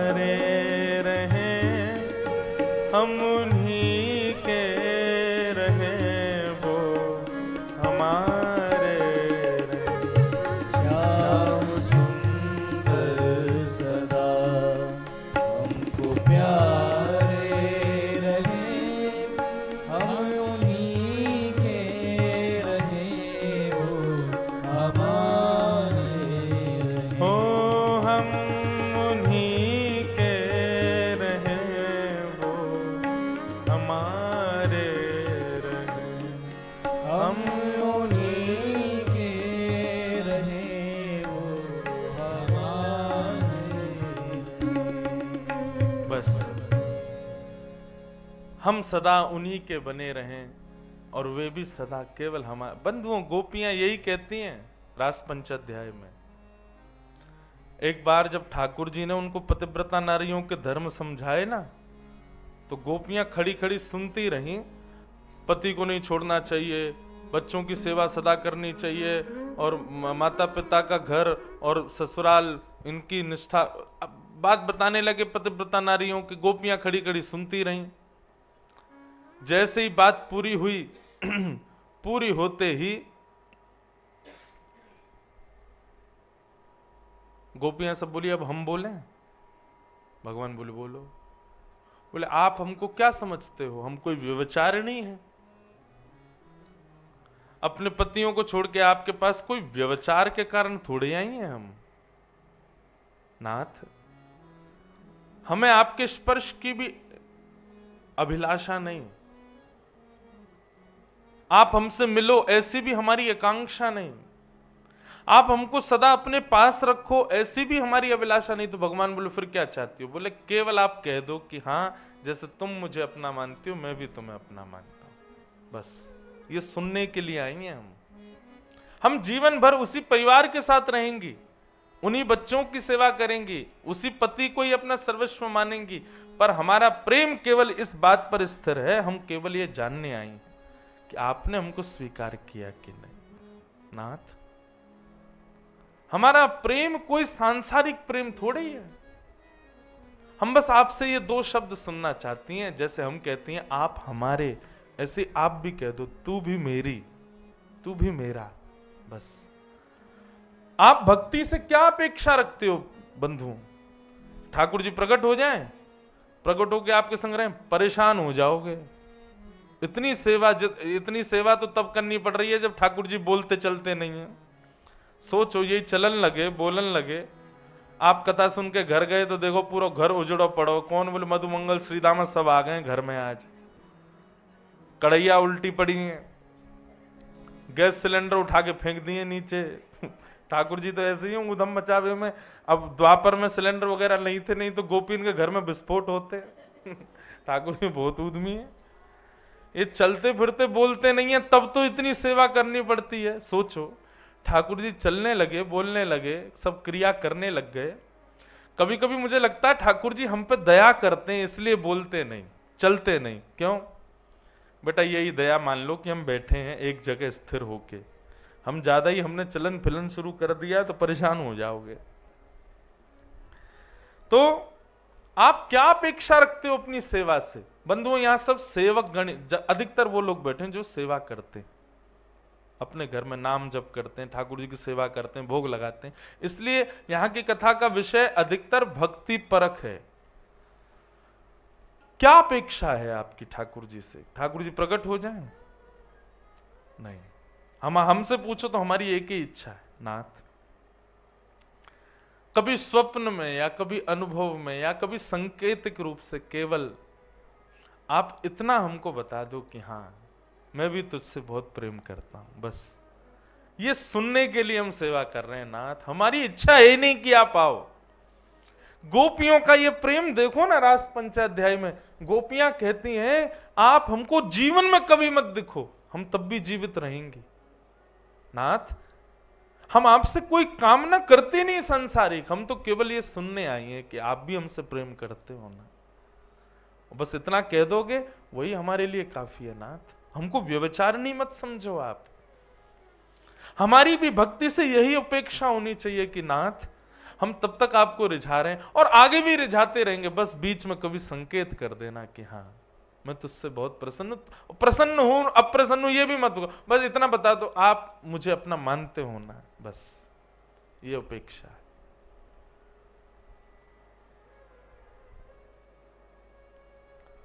आखिरी आश, यही जीवन की पूर्ण करना प्यारे। क्या? एक बार हृदय से लगा लो, ओ मेरे प्रियतम, तुम हमारे थे, तुम हमारे हो, तुम हमारे ही रहोगे, ओ मेरे प्रीतम बस एक ही इच्छा है, बस। तो इस प्रकार भगवान कहते हैं, मैया, लक्षणम भक्ति योग भक्ति योग के सारे लक्षण जिसके अंदर हैं और जो अहितुकी भक्ति करता है मेरी अहितुकी भक्ति किसको कहते हैं बंधु? चाहे कितनी विषम परिस्थिति आ जाए, फिर भी ठाकुर जी का जो प्रेम, विश्वास हृदय में है, वो डगमगाए ना। बंधुओं, विषम स्थिति आती हमारा सबसे पहले विश्वास खत्म होता है ठाकुर जी से। जो हम चाहते हैं वो ना हो, ऐसी स्थिति होते ही सबसे पहले विश्वास खत्म होता है। और विश्वास खत्म होते ही हमारी भक्ति नष्ट। ठाकुर जी कहते हैं, भाई, अहितु की भक्त कैसा होता है? चाहे कुछ हो जाए जीवन में, उसके बाद भी कभी मेरी भक्ति उसके हृदय से जाए ना। ऐसा अहितु की भक्त मुझे प्रिय है। हम शिकायतों में लगे रहते हैं, आपने जे नहीं किया, ठाकुर जी ऐसा क्यों कर रहे हो, जे नहीं कर रहे? पर वैष्णव का स्वभाव कैसा बंधुओं कि अगर विपरीत स्थिति भी जीवन में आई है ना तो उसको भी किसी ना किसी रूप से भगवत कृपा समझे।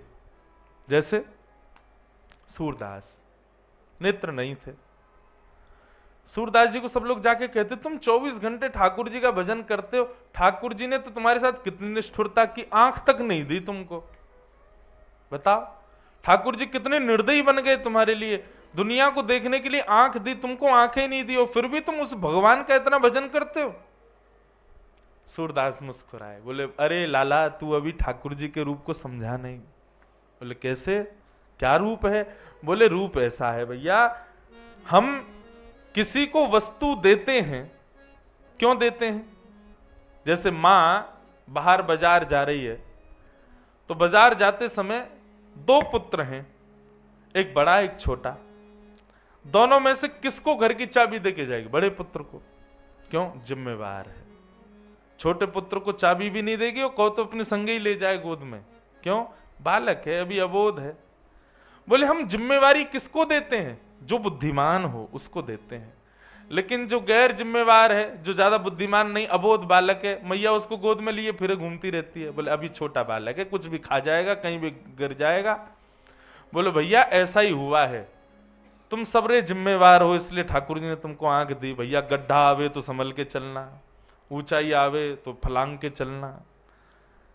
हाँ रस्ते कैसे भी आए, अपने आप देख के चलना, जिम्मेवारियाँ हैं तुम्हारे पास। पर मेरी जिम्मेवारी तो ठाकुर जी बोले, ये गैर जिम्मेवार है, इसको तो मैं ही गोद में लेके चलूँगा, इसलिए मुझे तो आँखें ही नहीं दी है। मुझे आँख इसलिए नहीं दी क्योंकि मेरी उंगली पकड़ के तो स्वयं शाम सुंदर चलते हैं आगे आगे बोले, भैया, लाला, सूरदास तू अपने आप चलेगा गिर गिरा जाएगा, चल तेरी उंगली पकड़ के मैं चलूँगा। इसलिए ठाकुर जी ने नेत्र नहीं दिए। तुमको नेत्र दिए मतलब तुम्हारी जिम्मेवारी तुम्हारे हाथ। गड्ढे में गिरे तो गलती तुम्हारी मानी जाएगी। पर मेरे को नेत्र नहीं दिए ठाकुर जी ने। क्यों बोले? अरे तो तो मैं रास्ता बताऊँगा, तू मेरी उंगली पकड़ के चल। वाह। ऐसी बंधुओं, जीवन की हर स्थिति, हर परिस्थिति वैष्णव का स्वभाव है, वो उसमें भगवत कृपा ही समझता है। आज, अभी इस कथा के बाद ही चिंतन कीजिए, हमारे साथ क्या गलत हुआ? ये गलत हुआ, ये अनुचित हुआ। अब उसको आप कृपा में परिवर्तित करो, ये कृपा थी ठाकुर जी की, ऐसा विचार करो, हृदय में। और देखना फिर आप, वो कृपा ही लगेगी। उसके बाद उस चीज़ उस भाव का जब चिंतन करोगे, तब तब नेत्रों में सजल आँसू आ जाएँगे कि ये कृपा है ठाकुर जी की। अहितु की भक्ति, किसी भी प्रकार के क्रम से, किसी भी प्रकार की विपरीत अवस्था से उसका हृदय कभी विचलित ना होता हो, ये मेरे भक्त का लक्षण। मैया, ऐसे निर्गुण भक्त मुझे बहुत प्रिय है। क्यों? बोले कि ऐसे निर्गुण भक्त जो सदा सर्वदा अपनी बुद्धि, मन, स्थिति सब में मुझको बिठा के रखते हैं, मेरी भी मन बुद्धि स्थिति में फिर वही रहते हैं। उनकी सब क्रिया फिर मैं मैं निश्चित करता हूँ, सुनिश्चित करता हूँ कैसे क्या होनी चाहिए। एक भक्त का आज स्मरण करा रही थी सुबह। अभी आ रही है स्मृति उसी की। गोवर्धन में एक झाड़ू लगाता था एक बालक। उस बालक को मंदिर प्रवेश का अधिकार नहीं था। बंधुओं, एक बात बताएँ, ये हमारे मंदिरों में गैर लोगों का प्रवेश आदि बीच में बंद क्यों रहा? कई मंदिरों में आज भी बंद है। क्योंकि लोग जाते भक्त बन के और मंदिरों में जाकर के फिर कुछ अनुचित कृत्य करते थे। इसलिए बीच के कुछ कालों में क्योंकि मुगल जब आ गए थे ना भारत में तो ये क्या करते थे? अपने सैनिकों को ब्राह्मण बना के भेजते थे मंदिर में। त्रिपुंड लगा के, चोटी वोटी रखवा करके तब भेजते थे। और वही ब्राह्मण वेश में गए हुए मुगलों के सैनिक गौ मांस बाँध के ले जाते और मंदिरों में जाके गौ मांस फेंक आते ठाकुर जी पर जाके चढ़ाए आते, अनुचित कर आते, तलवार आदि छुपा के ले जाते, मंदिर में जाके तोड़ फोड़ मचा देते। इसलिए फिर बड़े बड़े मंदिरों में नियम बना दिए गए। इनका प्रवेश उचित होगा, इनका अनुचित होगा, ये जाएँगे, ये ये सब हुआ। बंधु, हमारा हिंदू वैदिक सनातन धर्म तो बड़ा सामंजस्य वाला धर्म था। ये तो विकृतियाँ आई हैं, बीच में हम कितने वर्ष तक गुलाम रहे हैं? आपको पता, हज़ार वर्ष से ज़्यादा गुलाम रहा है भारत। ये गुलामी का परिणाम, गुलामों से बचने के लिए हम लोगों ने ये सब नियम बनाए, जो मंदिरों में आज कई जगह इन पर प्रश्न उठाया जाता है, ऐसा क्यों है मंदिरों में, इतना भेदभाव क्यों है, ये क्यों वो क्यों ये सब पहले नहीं था। ये बाद में ज़बरदस्ती स्थिति बनी, इसलिए करना पड़ा। तो एक झाड़ू लगाता था गिरिराज जी में। उसको मंदिर में प्रवेश का अधिकार नहीं था। तो वो क्या करता था? बाहर बैठ जाता था और मंदिर से आने वाले सारे वैष्णवों से पूछता था, ठाकुर जी, कैसे लग रहे हैं? ऐसा ही चरित्र आता है ताज बेगम का। ताज बेगम अकबर की पत्नी हुई उन्होंने उनको भी ठाकुर जी इतने प्रिय लगते थे, पर मंदिर में प्रवेश नहीं होता था। तो प्राचीन काल में भारत में खिड़कियाँ होती थी मंदिरों में। वहाँ खिड़की से जिनको अंदर प्रवेश नहीं, वो वहाँ से दर्शन करते थे। ताज बेगम को कई जगह दर्शन नहीं होता तो बाहर बैठ जाती और दर्शनार्थियों से पूछती, कैसे लग रहे हैं ठाकुर जी? बोले, ऐसे लग रहे हैं, ऐसे लग रहे हैं, ऐसे लग रहे हैं। आहा उसी का चिंतन करके अपने चित्त में और फिर एक सुंदर चित्र बनाती और चित्र बना करके दर्शनार्थी से पूछती, भैया, बस एक बार देख के बता दो, ऐसे लग रहे हैं ठाकुर जी? तो दर्शनार्थी कहते हो रे तुम तो ऐसा लग रहा है कि बिल्कुल भीतर के ठाकुर जी का चित्र खींच लाई हो, इतने सुंदर। प्रत्यक्ष जैसे ठाकुर जी भीतर होते थे, वैसा चित्र बना देती थी ताज बेगम। अंदर तो जा नहीं सकती, सुनकर के चित्र बनाती थी। और स्थिति ऐसी पहुँच गई ताज बेगम की कि करते करते करते अब तो यह हो गया था कि ताज बेगम बिना पूछे चित्र बनाती और चित्र बना के केवल अपने प्रेम के प्रमाण के लिए दर्शनार्थी से पूछती, क्या ठाकुर जी ऐसे लग रहे हैं? बोले हाँ बिल्कुल ऐसे ही धर रहे हैं। अरे, हमारी भी दृष्टि नहीं गई, तुमने जो जो माला पहनाई है, ये भी ठाकुर जी ने पहनी है। तब ताज बेगम के नेत्र सजल होते कि अब मेरे चित्त में ठाकुर जी बैठ गए मतलब जैसा मैं सोचती हूँ, ठाकुर जी वैसे ही श्रृंगार करते हैं। ताज बेगम की इस कथा से हमने एक चीज़ सीखी। आपको बताएँ, आप भी किया करो। ठाकुर जी के कभी मंदिर में जाओ ना तो पहले ही बाहर से सोच के जाओ। ठाकुर जी, अगर आज आपने मुकुट पहना होगा और उस मुकुट पर मोर पंख लहरा रहा होगा, नीचे सोने की मोती की लर लग रही होगी, या आपने आज नीला वस्त्र पहना होगा, या पीला होगा, या ऐसा पटका डाल रखा होगा कुछ भी, पाँच छह चीज़ें सोच लो, इनमें से कुछ भी मिल गया तो समझ जाएँगे कि ठाकुर जी, आप हमसे प्रेम करते हो। मैं तो बहुत करता हूँ ये। राधरमन जी जाऊँगा, पहले सोच लूँगा, आज ठाकुर जी ऐसे ऐसे दिख रहे होंगे। नीले वस्त्र पहने होंगे, पीला पटका अच्छा हम बड़े चतुर हैं, हम सोच भी दस पाँच चीज़ लेते हैं तो एक आध मिल ही जाती है। हम क्यों ये बात स्वीकार करें कि ठाकुर जी ने हमको स्वीकार नहीं किया? हम तो हर अदबद के ठाकुर जी हमको मानते ही हैं अपना। इसलिए बहुत सारी चीज़ें सोच लो। पर एक बात बताओ, एक बार ऐसा हुआ था कि मैंने पाँच चीज़ें सोची और पाँचों मिल गई। आप विश्वास नहीं मानोगे उस समय की स्थिति। ऐसा लगा मानो आकाश में उड़ गया हूँ मैं। और कोई नहीं मंदिर में, बस राधारमन जी और मैं खड़े। तो कभी भी दर्शन करने जाओ, ठाकुर जी का पहले विचार करके जाओ। ठाकुर जी, आज आपका श्रृंगार ऐसा होगा, ऐसा पटका पहना होगा, ऐसा होगा, या श्रृंगार के अलावा हर रोज श्रृंगार भी नहीं कभी कभी ऐसे सोच के जाओ, आज गोसाई जी की अगर मुझ पर दृष्टि पड़ गई, उन्होंने मुझे तुलसी दे दी, उन्होंने मुझे माला पहना दी, उन्होंने मुझे प्रसाद दे दिया, कुछ भी हुआ तो समझूँगा कि आप मुझसे राज़ी हो। लेकिन इसके लिए एक सावधानी पहले ही बता दूँ, अगर आपने जो सोचा वो वैसा कुछ भी नहीं हुआ तो उदास भी उतने ही हो जाओगे मंदिर में। उदास मत होना, कोई बात नहीं, ठाकुर जी, आज स्वीकार नहीं, कल करोगे, अगली बार आएँगे तब करोगे। नाथ द्वार में जब हमारे लाल जी का प्रथम जन्मोत्सव हुआ, हम श्रीनाथ जी दर्शन करने ही पहली बार 2019 में गए थे। अभी क्या चल रही है 2023 पहली बार श्री जी बाबा का दर्शन मैंने अपने जीवन में 2019 में किया। और प्रथम दर्शन करने के लिए जब गया तो लाल जी के सामने जब मैं खड़ा हुआ तो वहाँ बाहर वैष्णव थे, वो सब मुझे को बोले, ये बोई वाले भैया हैं, जिन्होंने गोवर्धनवाज सांवरे गाया है। मुझे नहीं पता था ये पद वैष्णवों को इतना प्रिय है। मैं तो बस नाना जी की आज्ञा थी तो मैंने गा दिया। लेकिन नाना जी एक बात बोल के गए, बोले कृष्णदास जी ने जब ये पद गाया चतुर्भुज दास जी ने तो ठाकुर जी ने उनको आज्ञा की कि इस पद का नित्य गान करने वाले को मैं निश्चित प्राप्त हो जाऊँगा. अब वो बात नाना जी की हमने सुन ली थी, लेकिन उसका कोई ऐसा भाव नहीं था।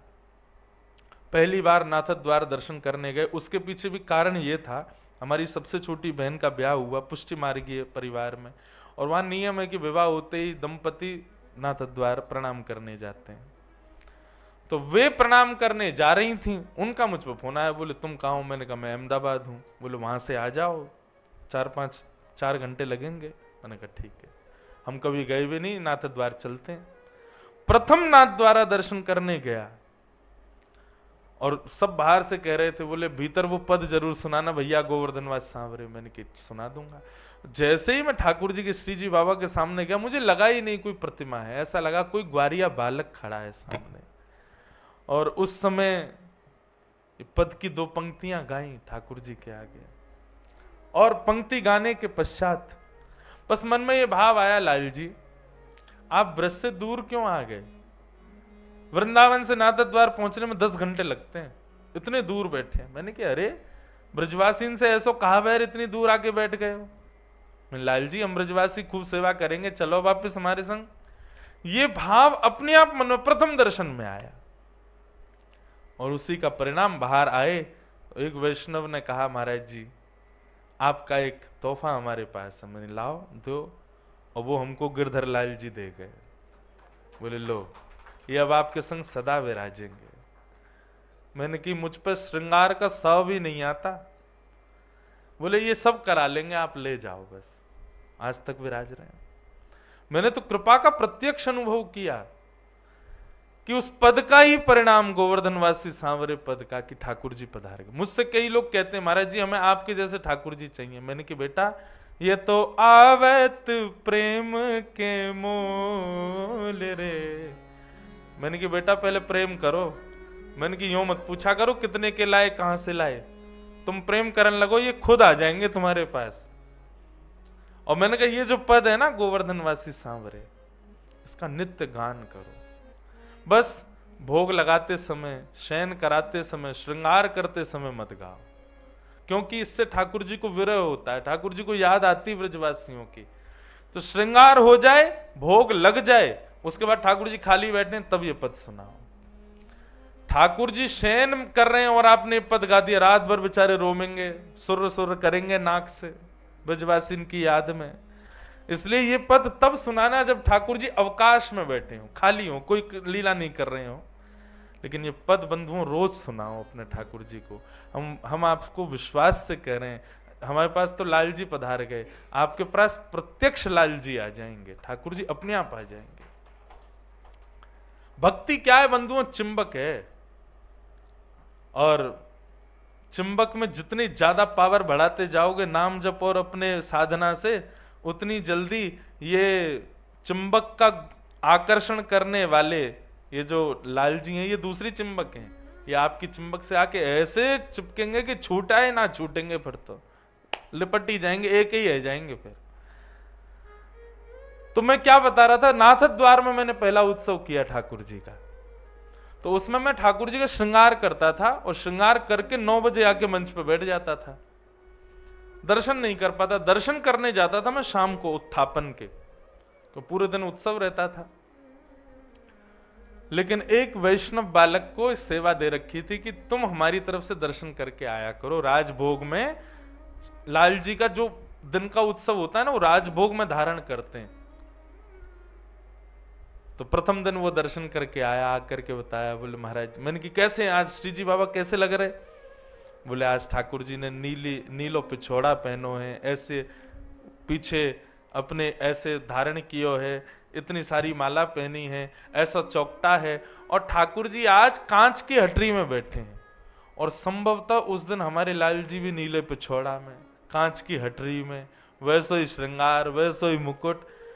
मैं कही, यार ये तो मैंने कही कि तू श्रीजी बाबा के दर्शन करके आई तू हमारे लाल जी के क्यों करके आयो बोले, मैं लाल जी के नहीं, मैं श्रीजी बाबा के ही करके आया हूँ। मैंने कहा ये कैसे होगा? मैं तो सुबह अपने लाल जी को ऐसे बनाया और शाम को जब मैं उत्थापन में जाता तो प्रत्यक्ष प्रमाण हो जाता कि लाल जी वैसे ही बैठे जैसे हमारे लाल जी मैंने कि चलो, आज प्रथम दिन ठाकुर जी ने एक जैसा श्रृंगार किया बिना पता, मुझे पता नहीं था। फिर भी ठाकुर जी का एक से श्रृंगार तो मैंने कि चलो लाल जी, प्रसन्न है इस उत्सव से।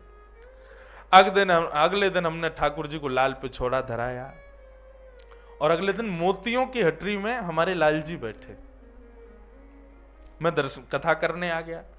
कथा करवे के बाद में वो बालक फिर मिला। मैंने कहा हाँ भाई, आज ठाकुर जी कैसे लग रहे हैं? बोले, आज श्री जी बाबा ने लाल पिछोड़ा पहनो है और मोती की हटरी में विराज रहे हैं। मेरे हाथ पाँव कहाँ पे मैंने कि भाई तू यार, तू सही सही बता, बोले, सही बता रहा हूँ महाराज जी।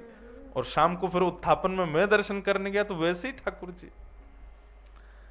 मैंने कहा, ये कुछ तो बात है। अगले दिन मैं सोच के बैठा, मैंने कि आज मैं ऐसा श्रृंगार करूँगा, जो श्री जी बाबा धारण इन दिनों में करते ही नहीं है। तब पता चलेगी। और हमने अपने ठाकुर जी को सहरा बाँध दिया। दुल्हा बना दिए अपने लाल जी मैंने की अब ये जनवरी के समय अब काय को सहरा पहनेंगे ठाकुर जी और उस दिन ठाकुर जी नीली हटरी में विराजमान हुए। अब मेरे कथा में कम मन लगे, मुझे यूँ लगे, कब कथा पूरी हो, मैं उससे पूछूँ कि आज ठाकुर जी कैसे दिख रहे हैं। कथा पूरी करके जैसे ही मैंने पूछी, मैंने की, भैया एकांत में ले जाके मैं जल्दी बता। बाहर लोग खड़े प्रणाम करो, मैंने तुम खड़े रहो तू बता पहले, ठाकुर जी कैसे लग रहे बोले, आज श्रीजी बाबा ने सहरा पहना है, जैसी उसने ये बात कही, मैं सत्य बताऊँ, नेत्रों से अविरल अश्रुधार नीली हटरी में ठाकुर जी विराज रहे। अभी भी सोच रहा हूँ, मेरे रोंगटे खड़े हो रहे नेत्र सजल हो रहे कैसे कृपालु नाथ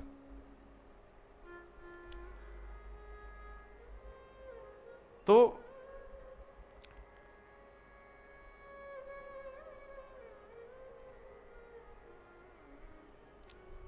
ये रीति थी ताज बेगम। उसको अंदर प्रवेश नहीं था मंदिर में तो बाहर से अपने हृदय का चित्र बनाती थी और पूछती थी दर्शनार्थियों से, ऐसे ठाकुर जी दिख रहे हो तो मैं मानूं कि ठाकुर जी मेरे चित्त में और जब दर्शनार्थी आके बताता, बोले, ऐसे ही दिख रहे हैं ठाकुर जी, नाचने लगती ताज बेगम। बंधुओं, हमारी भक्ति यहीं तक सीमित रहे। हमें मिलना नहीं है ठाकुर जी से। हमको ये छोटे छोटे अनुभव से ही हम जी लेंगे पूरा जीवन। हमको प्रत्यक्ष दर्शन की अभिलाषा नहीं है। बस आप इन इन भावों से, छोटे छोटे भावों से अपनी स्वीकृति प्रदान कर देते हैं ना कि हाँ मैंने तुझे स्वीकार कर लिया। बस मुझे उसी में सुख है। हमें उसी में सुख है।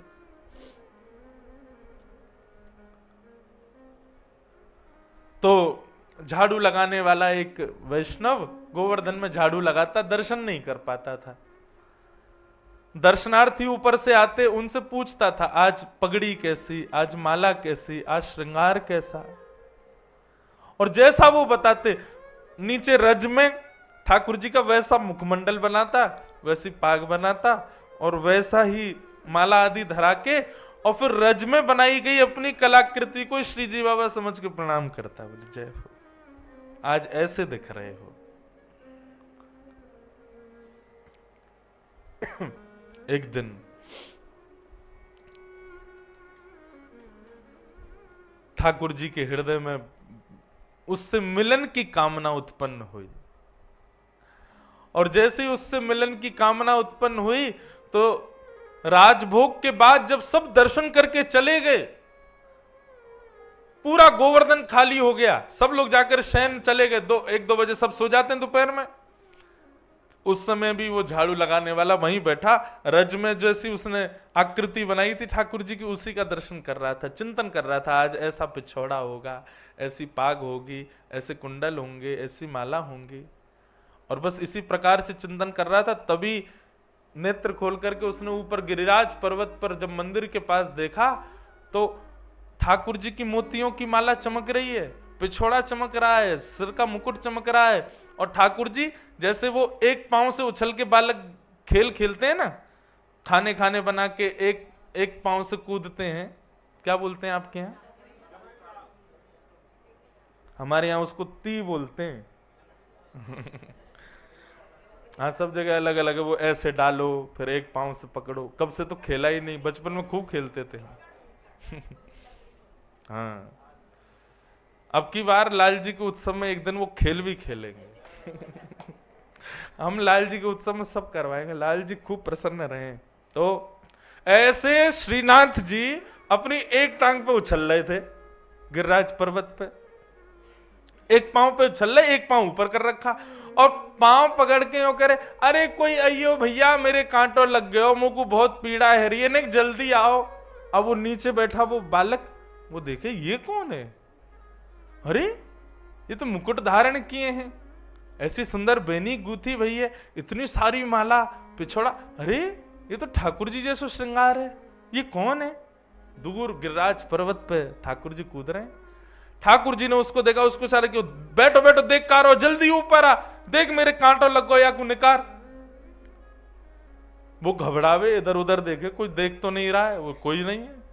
ऊपर ज्यो ज्यो समीप जावे, ठाकुर जी की ज्यो ज्यो कमल नैन ठाकुर जी, सुंदर थोड़ी को चुबुक चमक रहे है, माथे को, रोरी को चंदन चमक रहे है, ऐसी सुंदर ठाकुर जी की छटा।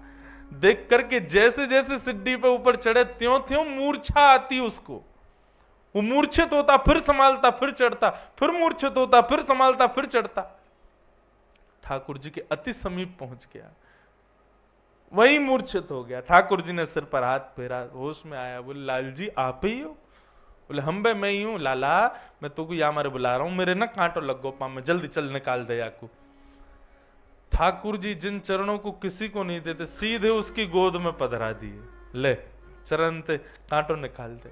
उसके हाथ काँप रहे मुख काँप रहा है, वो समझ नहीं पा रहा मैं क्या करूँ? कहा ठाकुर जी कांटे लगे ठाकुर जी बोले पामन के तलवा को ऐसे हाथ से मल के देख, वहाँ मिलेगा। ठाकुर जी के श्री चरण कमलों के तलवे, जहाँ पर वज्रांग कुशध्वज सरोरुहलांचनाड्यम उत्तुंग रक्त विलसन्नक चक्रवाल। देवता आदि कहते हैं, जिसका स्पर्श किसी को प्राप्त नहीं होता। वो उस झाड़ू लगाने के वाले की गोद में दे दिया। बोले, ले, धूड़िए भैया, कांटो कहाँ है? वो देख रहा है, तभी उसको मिला। बोले हाँ जय जय, मिल गए कांटो। बोले, इसको निकाल दे। कोमल ठाकुर जी के चरण, बिल्कुल कमल जैसे चरण। निकाले उंगली से निकाले नहीं, और भीतर चलो। अरे, दारी के तने तो और भीतर घुसाए दियो। अब मोको और पीड़ा आ रही है। बोलो, ठाकुर जी, कैसे निकालू? बोले, ऐसे ना निकलो सुन। तू पाम पकड़ के और अपने दांतन से निकाल। बोला, मेरे प्राण निकल जाएँगे नाथ, इतनी कृपा मत करो। बोले, तू, तेरे प्राण ना निकलेंगे, मेरे निकल रहे हैं, जल्दी निकाल। ज़बरदस्ती कृपा कर रहे हैं उसके ऊपर। और वो, कोई कांटा लगा थोड़ी है बस उस पर कृपा करनी है ठाकुर जी को। उसके मुख के पास अपने चरण दे दिए और वो अपने दांतों से ठाकुर जी के कांटे को निकाल रहा है। ठाकुर जी बोले, चल, अब मुँह को लेके चल। बोले, कहाँ चलना बोले, आज गोविंद गोविंद दास अपनी खिरक में दाल बाटी बना रहा है, बाकी दाल बाटी खावे जाऊँगा मैं। चल, ले चल मुँह अरे ठाकुर जी, ये सब गोविंद दास आदि अष्ट सखा, ये लोग बड़े अपरस में रहते हैं। शुद्धता, पवित्रता का बड़ा ध्यान रखते हैं। आप मेरे से छुप गए हो, ये भी इनको पता चल गई तो मुझे मार देंगे महाराज जी। ठाकुर जी बोले, तेरे संग मैं हूँ ना, चिंता का करे? चल, अपने कंधा पे बैठा ले। ठाकुर जी उसके कंधा पे बैठ गए और सिर पकड़ लिया और वो लेकर के जा रहा है। सोचो छवि कितनी सुंदर एक नन्ना सा झाड़ू लगाने वाला बालक अपने कंधा पे श्री जी बाबा को लेके जा रहा है।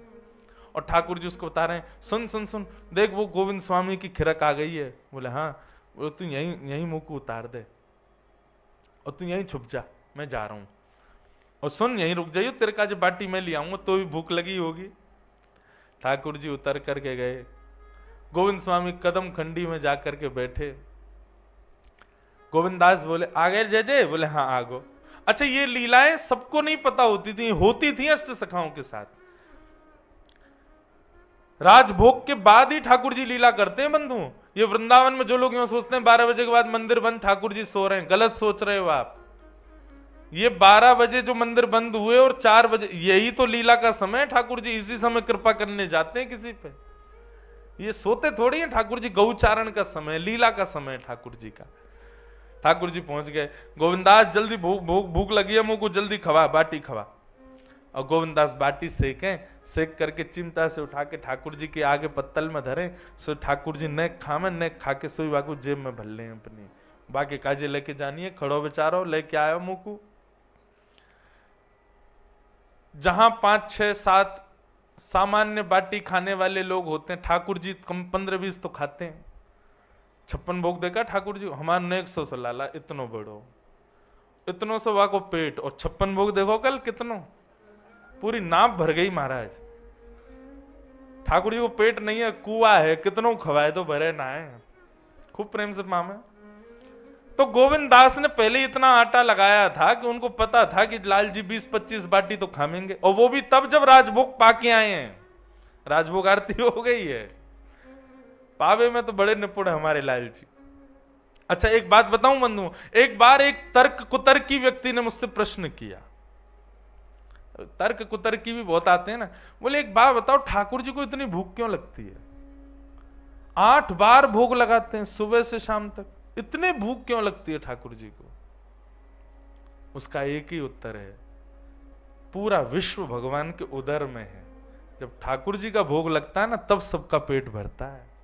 ये हम आप सब लोग रोज भोजन कर रहे हैं, इसका परिणाम यह कि ठाकुर जी का भोग लग रहा है। और यदि कोई व्यक्ति भूखा सो रहा है, भूखा रह रहा है तो निश्चित कोई ना कोई व्यक्ति प्रसाद का अपमान कर रहा है। उसी अपमान की वजह से कोई भूखा है। ये पूरा विश्व ठाकुर जी के गर्भ में। और आप तो आठ अरब मानवों को जानते हो, जल के प्राणी, जंगलों के प्राणी, हवा में उड़ने वाले प्राणी, अरे छोटे छोटे जीवाणु भी, ये भी भोजन करते हैं, ये सब भी ठाकुर जी के गर्भ में। है ठाकुर जी का इतनी बार भोग लगता है, इसीलिए सब तृप्त हैं, सब पा रहे ठाकुर जी बोले, अब गोविंदास पेट भर गो हमारा तो अब हम जा रहे हैं मंदिर, अब जाके नेक देर सोमेंगे, फिर चार बजे उत्थापन आरती होएगी। गोविंदास बोले, जय जय, बड़ी कृपा जैसे ही ठाकुर जी खड़े भय सो ठाकुर जी की पीताम्बरी इतनी फूल गई। बाटी बल रही जेब में। गोविंदास बोले, जे का है ठाकुर जी ने रुकी बोले, कहा? ये इतनी पीताम्बरी ऐसी तुम्हारी कैसे फूल गई है? ये तो तब फूल है जब आप नाचो, जो गोल गोल घूमो तो ऐसी पीताम्बरी फूल जाए आपकी। ये इतनी कैसे फूल गई? कहा भर रखो भीतर ठाकुर जी बगे कछु ना कछु ना कछु नहीं गोविंद दास ने पकड़ ली। देखे तो भीतर थे महाराज, गोजा में बाटी भर रखी है। ये जेब को ब्रजभाषा में कहें गोजा। गोजा में बाटी भर रखी है। गोविंदास बोले, बाटी जेब में काय धर रखी है? कौन के काजे ले जा रहे हो? ना, कोई को नहीं? ठाकुर जी ने एक बार ऐसे देखी, उसकी तरफ़ जो पेड़ के पीछे छुपा था। गोविंदास बोले, कौन को देख रहे हो? दौड़ करके गोविंदास गए तो वो झाड़ू लगाने वाला बालक मिल गया। ठाकुर जी सही सही बताओ, पूरी बात कहा है? तो उस बालक ने कही गोविंदास जी, मुझे क्षमा कर दो, मुझसे बहुत बड़ा अपराध हो गया। आज ठाकुर जी मेरे कंधा पे बैठ के आए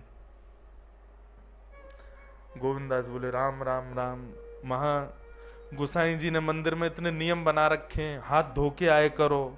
पामन को धो के आओ आधो स्नान करके आओ, शुद्धता को ध्यान रखो। बेचारो, वो तानसेन एक बार पद गावे आयो तो गोवे गुसाई जी ने भगाई दियो, बोले, काय बोले, पहले तांबुल थूक के आ। शुद्ध मुँह से सेवा कर ठाकुर जी की। इतनी सेवा, शिष्टाचार को विचार करें, और यहाँ ठाकुर ने सबरी सेवा तोड़ रखी है। झाड़ू लगावे वाले इनके कंधा पे बैठ बैठ के डोल रहा है सबरे नियम हमारे काज है, नहावे धोवे के। तुम्हारे काज कछुना है ठाकुर जी बोले, अब ठीक है गोविंदास गुस्सा का कर रहे हो कोई बात ना, छोड़ दे को बोले या को कोई अपराध थोड़ी है, बेचारो, ये तो ऊपर ही ना जावे कभी गिरिराज पर्वत पे। तुम नहीं बुलाए होगो ज़रूर। बोला हाँ इन नहीं बुलाए हो। ठाकुर जी बोले बजमारे तू और बता दे सबरी बातन ने अरे तो पे कृपा करिए, तू और मेरी शिकायत कर रहा गोविंदास बोले, ऐसे काम नहीं चलोगे। ठाकुर जी बोले, बता, कहा करूँ? गोविंद कुंड में स्नान करो। स्नान करके ऊपर जाओगे। ये बड़े तीन तीन बार नवा नवा के हमको बड़ी अप्रस्ता को बात बता मैं ठाकुर जी के सामने शुद्धता से जाओ, पवित्र। अब खुद अपवित्र हो, ना के जाओ। ठाकुर जी बोले, देख भैया, सर्दी को समय। कैसी ठंडे कोहरा पड़ रहे हैं। सूर्य के दर्शन ना भाई चार दिन आते। तू मुकु कुंड में नवावे को ऐसा मत करे। चल मैं एक काम करूँ, मैं आचमन कर लूँ अपवित्र पवित्रो वा सर्वावस्थांग तो पिवा यस्मरित पुंडरी का क्षम सबाई अभ्यंतर सूचि ऐसे जल छिड़काव करके व्यक्ति पवित्र माना जाता है। ठाकुर जी गए गोविंद कुंड पर जाके जल लेके अपने नाम से अपने आप को पवित्र कर रहे हैं। यस्मरित पुंडरी काक्ष सबाई अभ्यंतर सूचि इतने में गोविंद दास पीछे से गए, धक्का दे दियो ठाकुर जी को। गेड़ दिए गोविंद कुंड में। ठाकुर जी महाराज गोविंद कुंड में डूब रहे हैं, तैर रहे हैं। बोले हे गोविंदा तो देख लूँगा मैं आज। गोविंदास की बात मान के ठाकुर जी बेचारे गोविंद कुंड में नहा लिए, दौड़ करके मंदिर में गए। जैसे ही उत्थापन आरती भई, सो देखी ठाकुर जी के सर्वांगीण अंग से जल चुचा रहा है। गुसाई जी बोले, जय जय, इतनी सर्दी। आपको पता है, श्रीनाथ जी साल में तीन या चार बार स्नान करते हैं बस। तो बाकी के दिन गीलो कपड़ा करके पहुँच दिए जाए बच्चे नेक सौ सब बालक है रोज रोज नहावेगो तो बीमार पड़ जाए वो। इसलिए रोज रोज केवल पहुँचा जाता है, बाकी जन्माष्टमी, स्नान, पूर्णिमा आदि दो चार साल में दिन है, उनमें स्नान करते हैं। गोविंदास जी तो बड़े अंगीठी रखी, कंबल उड़ायो। गुसाई जी ने गोविंदास जी आए। गुसाई जी बोले हे गोविंदा, तेने ठाकुर जी को धक्का दे दियो गोविंद कुंड में? अच्छा तो पहले आके बता दे, इनने मैंने कहा, कियो है? अब मैं बता दूँगा आप कहा कर रहे ठाकुर जी सारो कहने, नहीं नहीं नहीं, तू मत बता भाई मेरी शिकायत मत करे, भैया। गोविंदा, तू मेरो प्रिय ना है, मेरी शिकायत मत करे। गोविंदास जी बता दी, बोले, गुसाई जी, ये झाड़ू लगावे वारो बालक है वह कंधा बैठ के घूम रहे इनने शुद्धता, पवित्रता का विचार नहीं किया, इसलिए मैंने गोविंद कुंड में धक्का दिया। तब गुसाई जी लाल जी की इस लीला को सुनकर के बड़े प्रसन्न हो गए। बोले, जय हो, जय जय, आप बड़े कृपालु हो। कौन कौन पे कैसी कैसी कृपा करवे जामे आपके आपके या भाव को हम बार बार प्रणाम करें? ऐसे भैया ठाकुर जी की मधुर लीला पौने दो हो गए हैं। कितने बजे की बस है सबकी? तीन, चार बजे की है, सब निकलने हैं। हाँ तो अब हम लोग भी भाव से ठाकुर जी को प्रणाम कर लें। बंधुओं, बहुत आनंद आया। काशी में तीन दिवस तक ये भगवत चर्चा, हरि चर्चा करने का बहुत बड़ा सुख मिला। हमारी ये सब सखियाँ हैं, श्री किशोरी जी की, जिन्होंने मिलकर के ये सब सुंदर भाव रखा। खूब इनका मन था, खूब दिन तक हो, खूब हो, अच्छे से, पर जितना समय मिल पाया। आज हमको रात्रि विदेश प्रस्थान करना था, पर कल ही कार्यक्रम स्थगित किया। बहुत दिन हो गए वृंदावन से गए हुए। अब हम वृंदावन सब कुछ सुनाते हैं, अब कुछ दिन जाके वृंदावन में आराम करेंगे। राधा वल्लभ जी, राधा रमन जी, बिहारी जी के दर्शन करेंगे, टटिया स्थान की रज में लौटेंगे, संत जनों के पास जा जा करके मधुर वाणी सुनाएँगे। ऐसे करके अब अपने आगामी छह सात दिन मंगल करेंगे, फिर उसके बाद लगातार फिर कथाएँ हैं। काशी से बंधुओं, बस एक ही प्रार्थना है हमारी। ये भूमि हमको बार बार बुलाती रहे। मुझको बहुत प्रिय है काशी मुझे बहुत अच्छा लगता है यहाँ आकर के। हमारे अभिषेक जी तो कल कह रहे थे, बालक सब बता रहे हमारे अनुज जी की, महाराज जी, एक बार लाल जी का जन्मोत्सव काशी में भी करो। आप हर वर्ष जो अलग अलग स्थानों पर करते हो, एक बार आप गंगा जी के तट पर भी करो। इस बार द्वारिका में अंतिम दिन हमारे ठाकुर जी के सामने पर्ची डाली जाती है स्थानों की और फिर जो पर्ची उठेगी उसमें जिस स्थान का नाम आया, अगला उत्सव वहीं होता है। तो इस बार की एक पर्ची काशी की भी डालेंगे। अगर हमारे लाल जी को मन भाया तो निश्चित अगले उत्सव के, वैसे तो पांचवा उत्सव है मतलब 2025 में 2024 में ठाकुर जी का चौथा उत्सव है। पांचवा है? पाँच साल के है लाला? अरे हाँ पाँच साल। तो ये पांचवा उत्सव तो अभी द्वारिका में है। तो हमारा एक और था कि हर पंच वर्ष के बाद एक उत्सव नाथ द्वारा में करेंगे। तो शायद हो सकता है पच्चीसवा अब देखेंगे जैसा जो हो। पर्ची डालेंगे लाल जी के आगे, आप सब आना द्वारिका 11 से 17 जनवरी। 17 जनवरी को ठाकुर जी के आगे चार स्थानों की पर्ची डलेगी, नाथ द्वारा, काशी, वृंदावन और एक स्थान और। जहाँ की गोवर्धन, जहाँ की पर्ची आएगी, वहीं उत्सव होगा। अगर काशी की आ गई कमर कस लेना फिर सब लोग। एक साल तक आप लोगों को चैन नहीं पड़ेगा फिर फिर सब व्यवस्थाओं में लगे रहना। कौन सी जगह होगा, सब सुख मिले, महाराज सब लोग पधारे, जनवरी का महीना रहेगा, ठंडी ठंडी हवा चल रही होगी, कोहरा पड़ रहा होगा, विश्वनाथ महादेव पधारेंगे। तो कुछ ना कुछ योजना जैसी लाल जी कृपा करेंगे। तो अगर पर्ची में काशी का नाम आया तो 2025 का उत्सव काशी में होगा। और फिर उसके लिए आप सब लोग तैयार रहना। हमारे सब जो मंडल है, जिन्होंने ये सब सुंदर कार्यक्रम कराया, सबको मेरा बहुत बहुत साधुवाद। लाल जी, आप सब पर ज़्यादा कृपा नहीं करें, बस इतनी करें कि आप सबके अंतिम समय आने से पूर्व ठाकुर जी का एक बार संपूर्ण जीवन में प्रत्यक्ष दर्शन प्राप्त हो जाए। लाल जी, प्रत्यक्ष एक बार हमको दिख जाए बस। ये कृपा अनुग्रह हमारे ऊपर हो जाए। और हमारी कोई अभिलाषा नहीं। हम बार बार काशी में आते रहेंगे। हमारे बहुत सारे मित्र हैं यहाँ पर। हमारे सौरभ जी, अभिषेक जी, ये सब हमारे सखा हैं।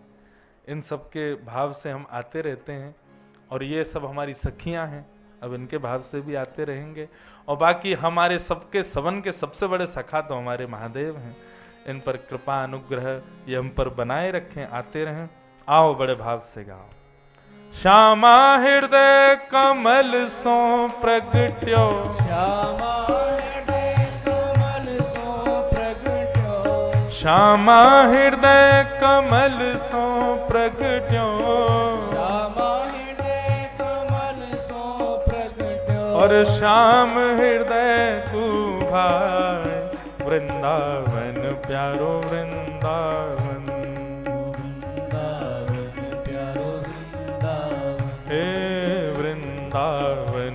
प्यारो वृंदावन।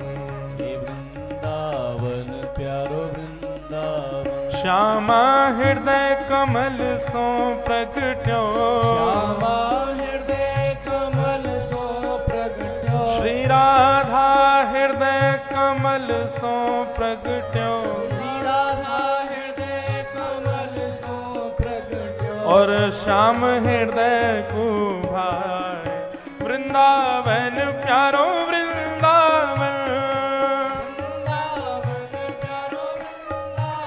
हे वृंदावन, मेरो वृंदावन।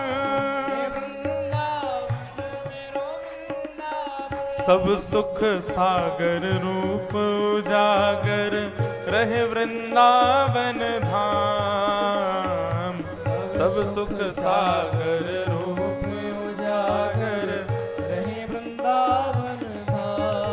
हाँ प्यारो रहे वृंदावन धाम प्यारो। रहे वृंदावन धाम। ओ रूप गोस्वामी प्रगट कियो जहाँ रूप।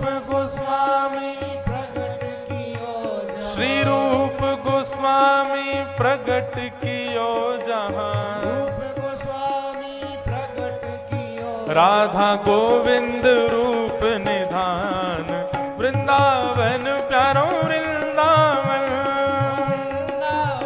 प्यारो वृंदावन। हे वृंदावन, श्री वृंदावन। रूप गोस्वामी प्रगट कियो जहाँ रूप गोस्वामी प्रकट कियो। राधा गोविंद रूप निधान। वृंदावन, श्री वृंदावन। हे वृंदावन, प्यारो वृंदावन।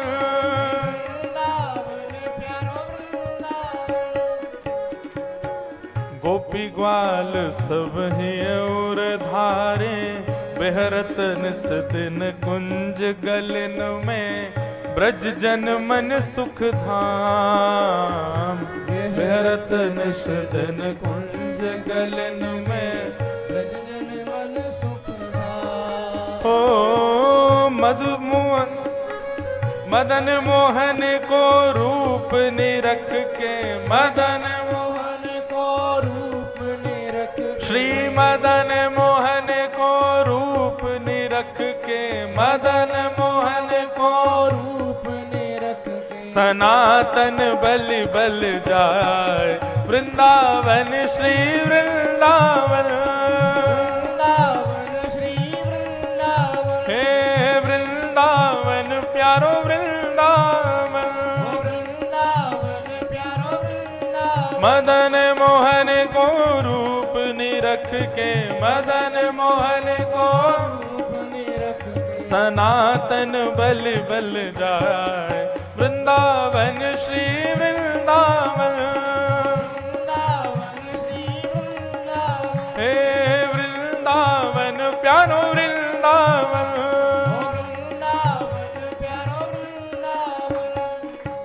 ओ गोपी ग्वाल, सब ही और धारे। प्यारो गोपीनाथ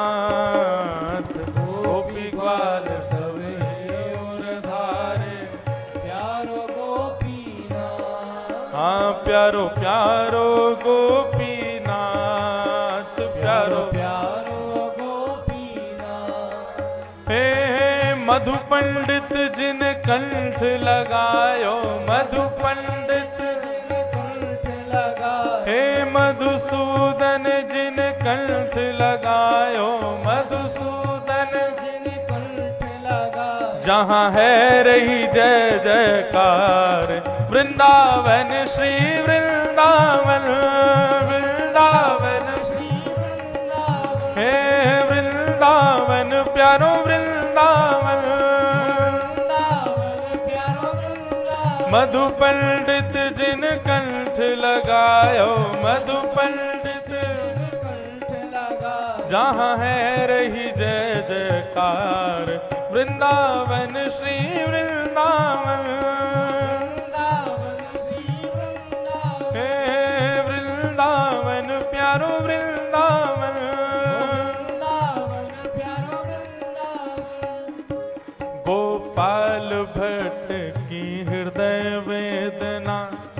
प्रगट्यो शालिग्राम गोपाल भट्ट की हृदय वेदना प्रकट्यो सालेग्राम हाँ प्यारो प्रगट्यो शालिग्राम प्यारो प्रकट्यो सालेग्राम कौन? हे रूप सुधा को खान हमारो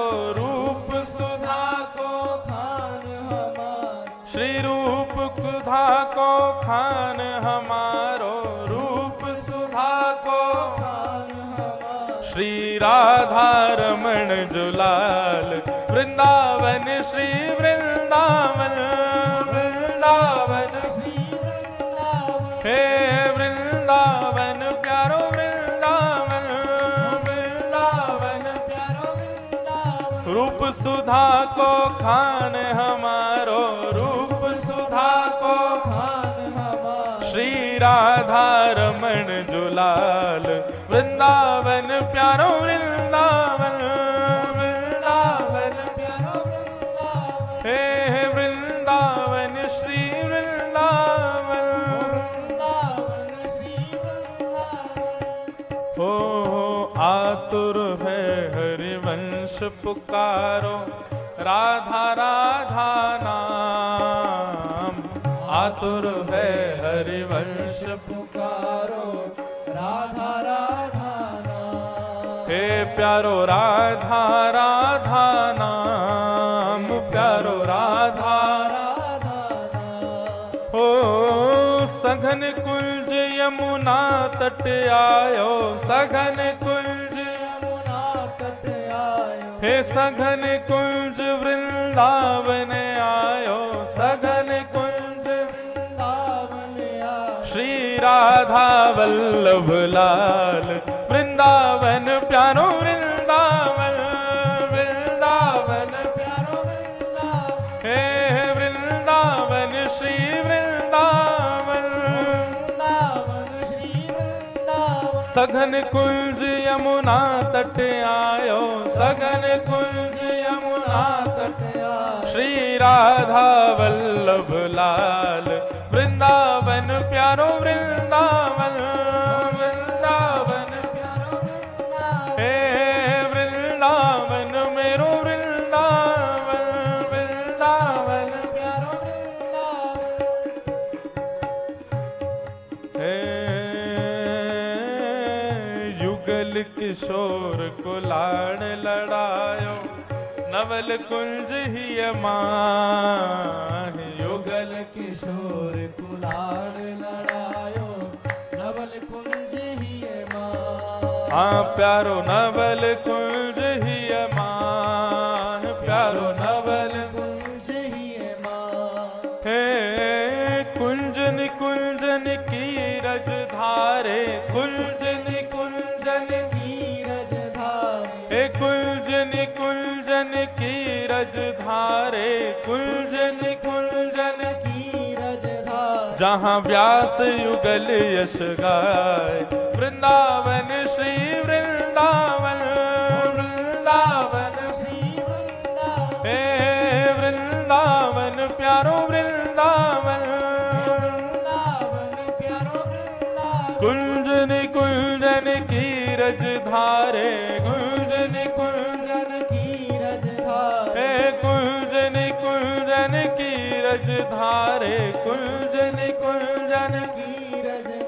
जहाँ व्यास युगल यश गाय वृंदावन प्यारो वृंदावन। वृंदावन प्यारो हे, वृंदावन, मेरो वृंदावन।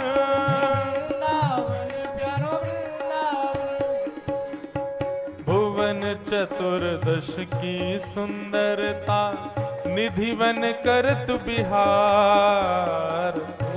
भुवन चतुर्दश की सुंदरता निधि बन करत बिहार। हे प्यारो निधि बन करत बिहार प्यारो निधि बन करत हे बिहार प्यारो निधि बन करत बिहार।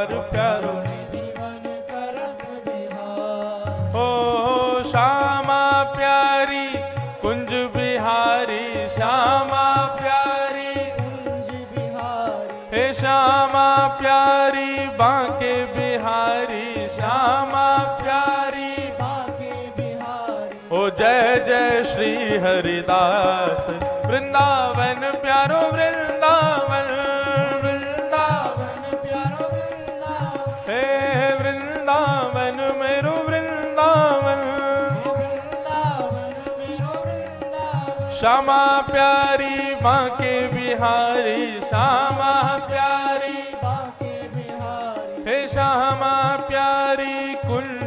बिहारी, श्यामा प्यारी। और जय जय श्री हरिदास। वृंदावन प्यारो, वृंदावन। हे वृंदावन मेरो वृंदावन।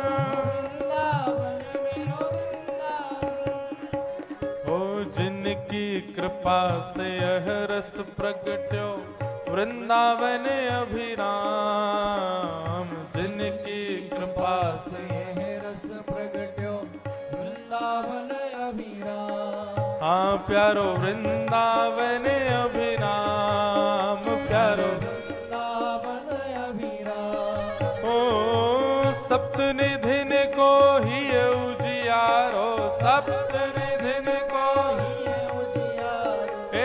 सबको प्राणन ते प्यारो। हम सबको प्राणन प्यार। और हम सबको मिलवावे वारो। हम सबको मिलवावे वार। हमारो गिरधर लाल, वृंदावन प्यारो, वृंदावन वृंदावन।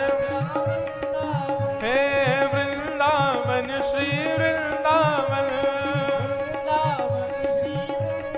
हम सबको मिलवावे वारो, हम सबको मिलवावे हमारो गिरधर लाल, वृंदावन प्यारो, वृंदावन वृंदावन प्यारो हे वृंदावन मेरो वृंदावन। भुजा उठाओ। सब लोग दोनों भुजा उठा करके भाव से गाओ। विश्वभानु दुलारी राधे। राधे विश्वभानु दुलारी विश्वभानु दुलारी जय राधे राधे। जय राधे राधे। जय राधे राधे। जय राधे राधे।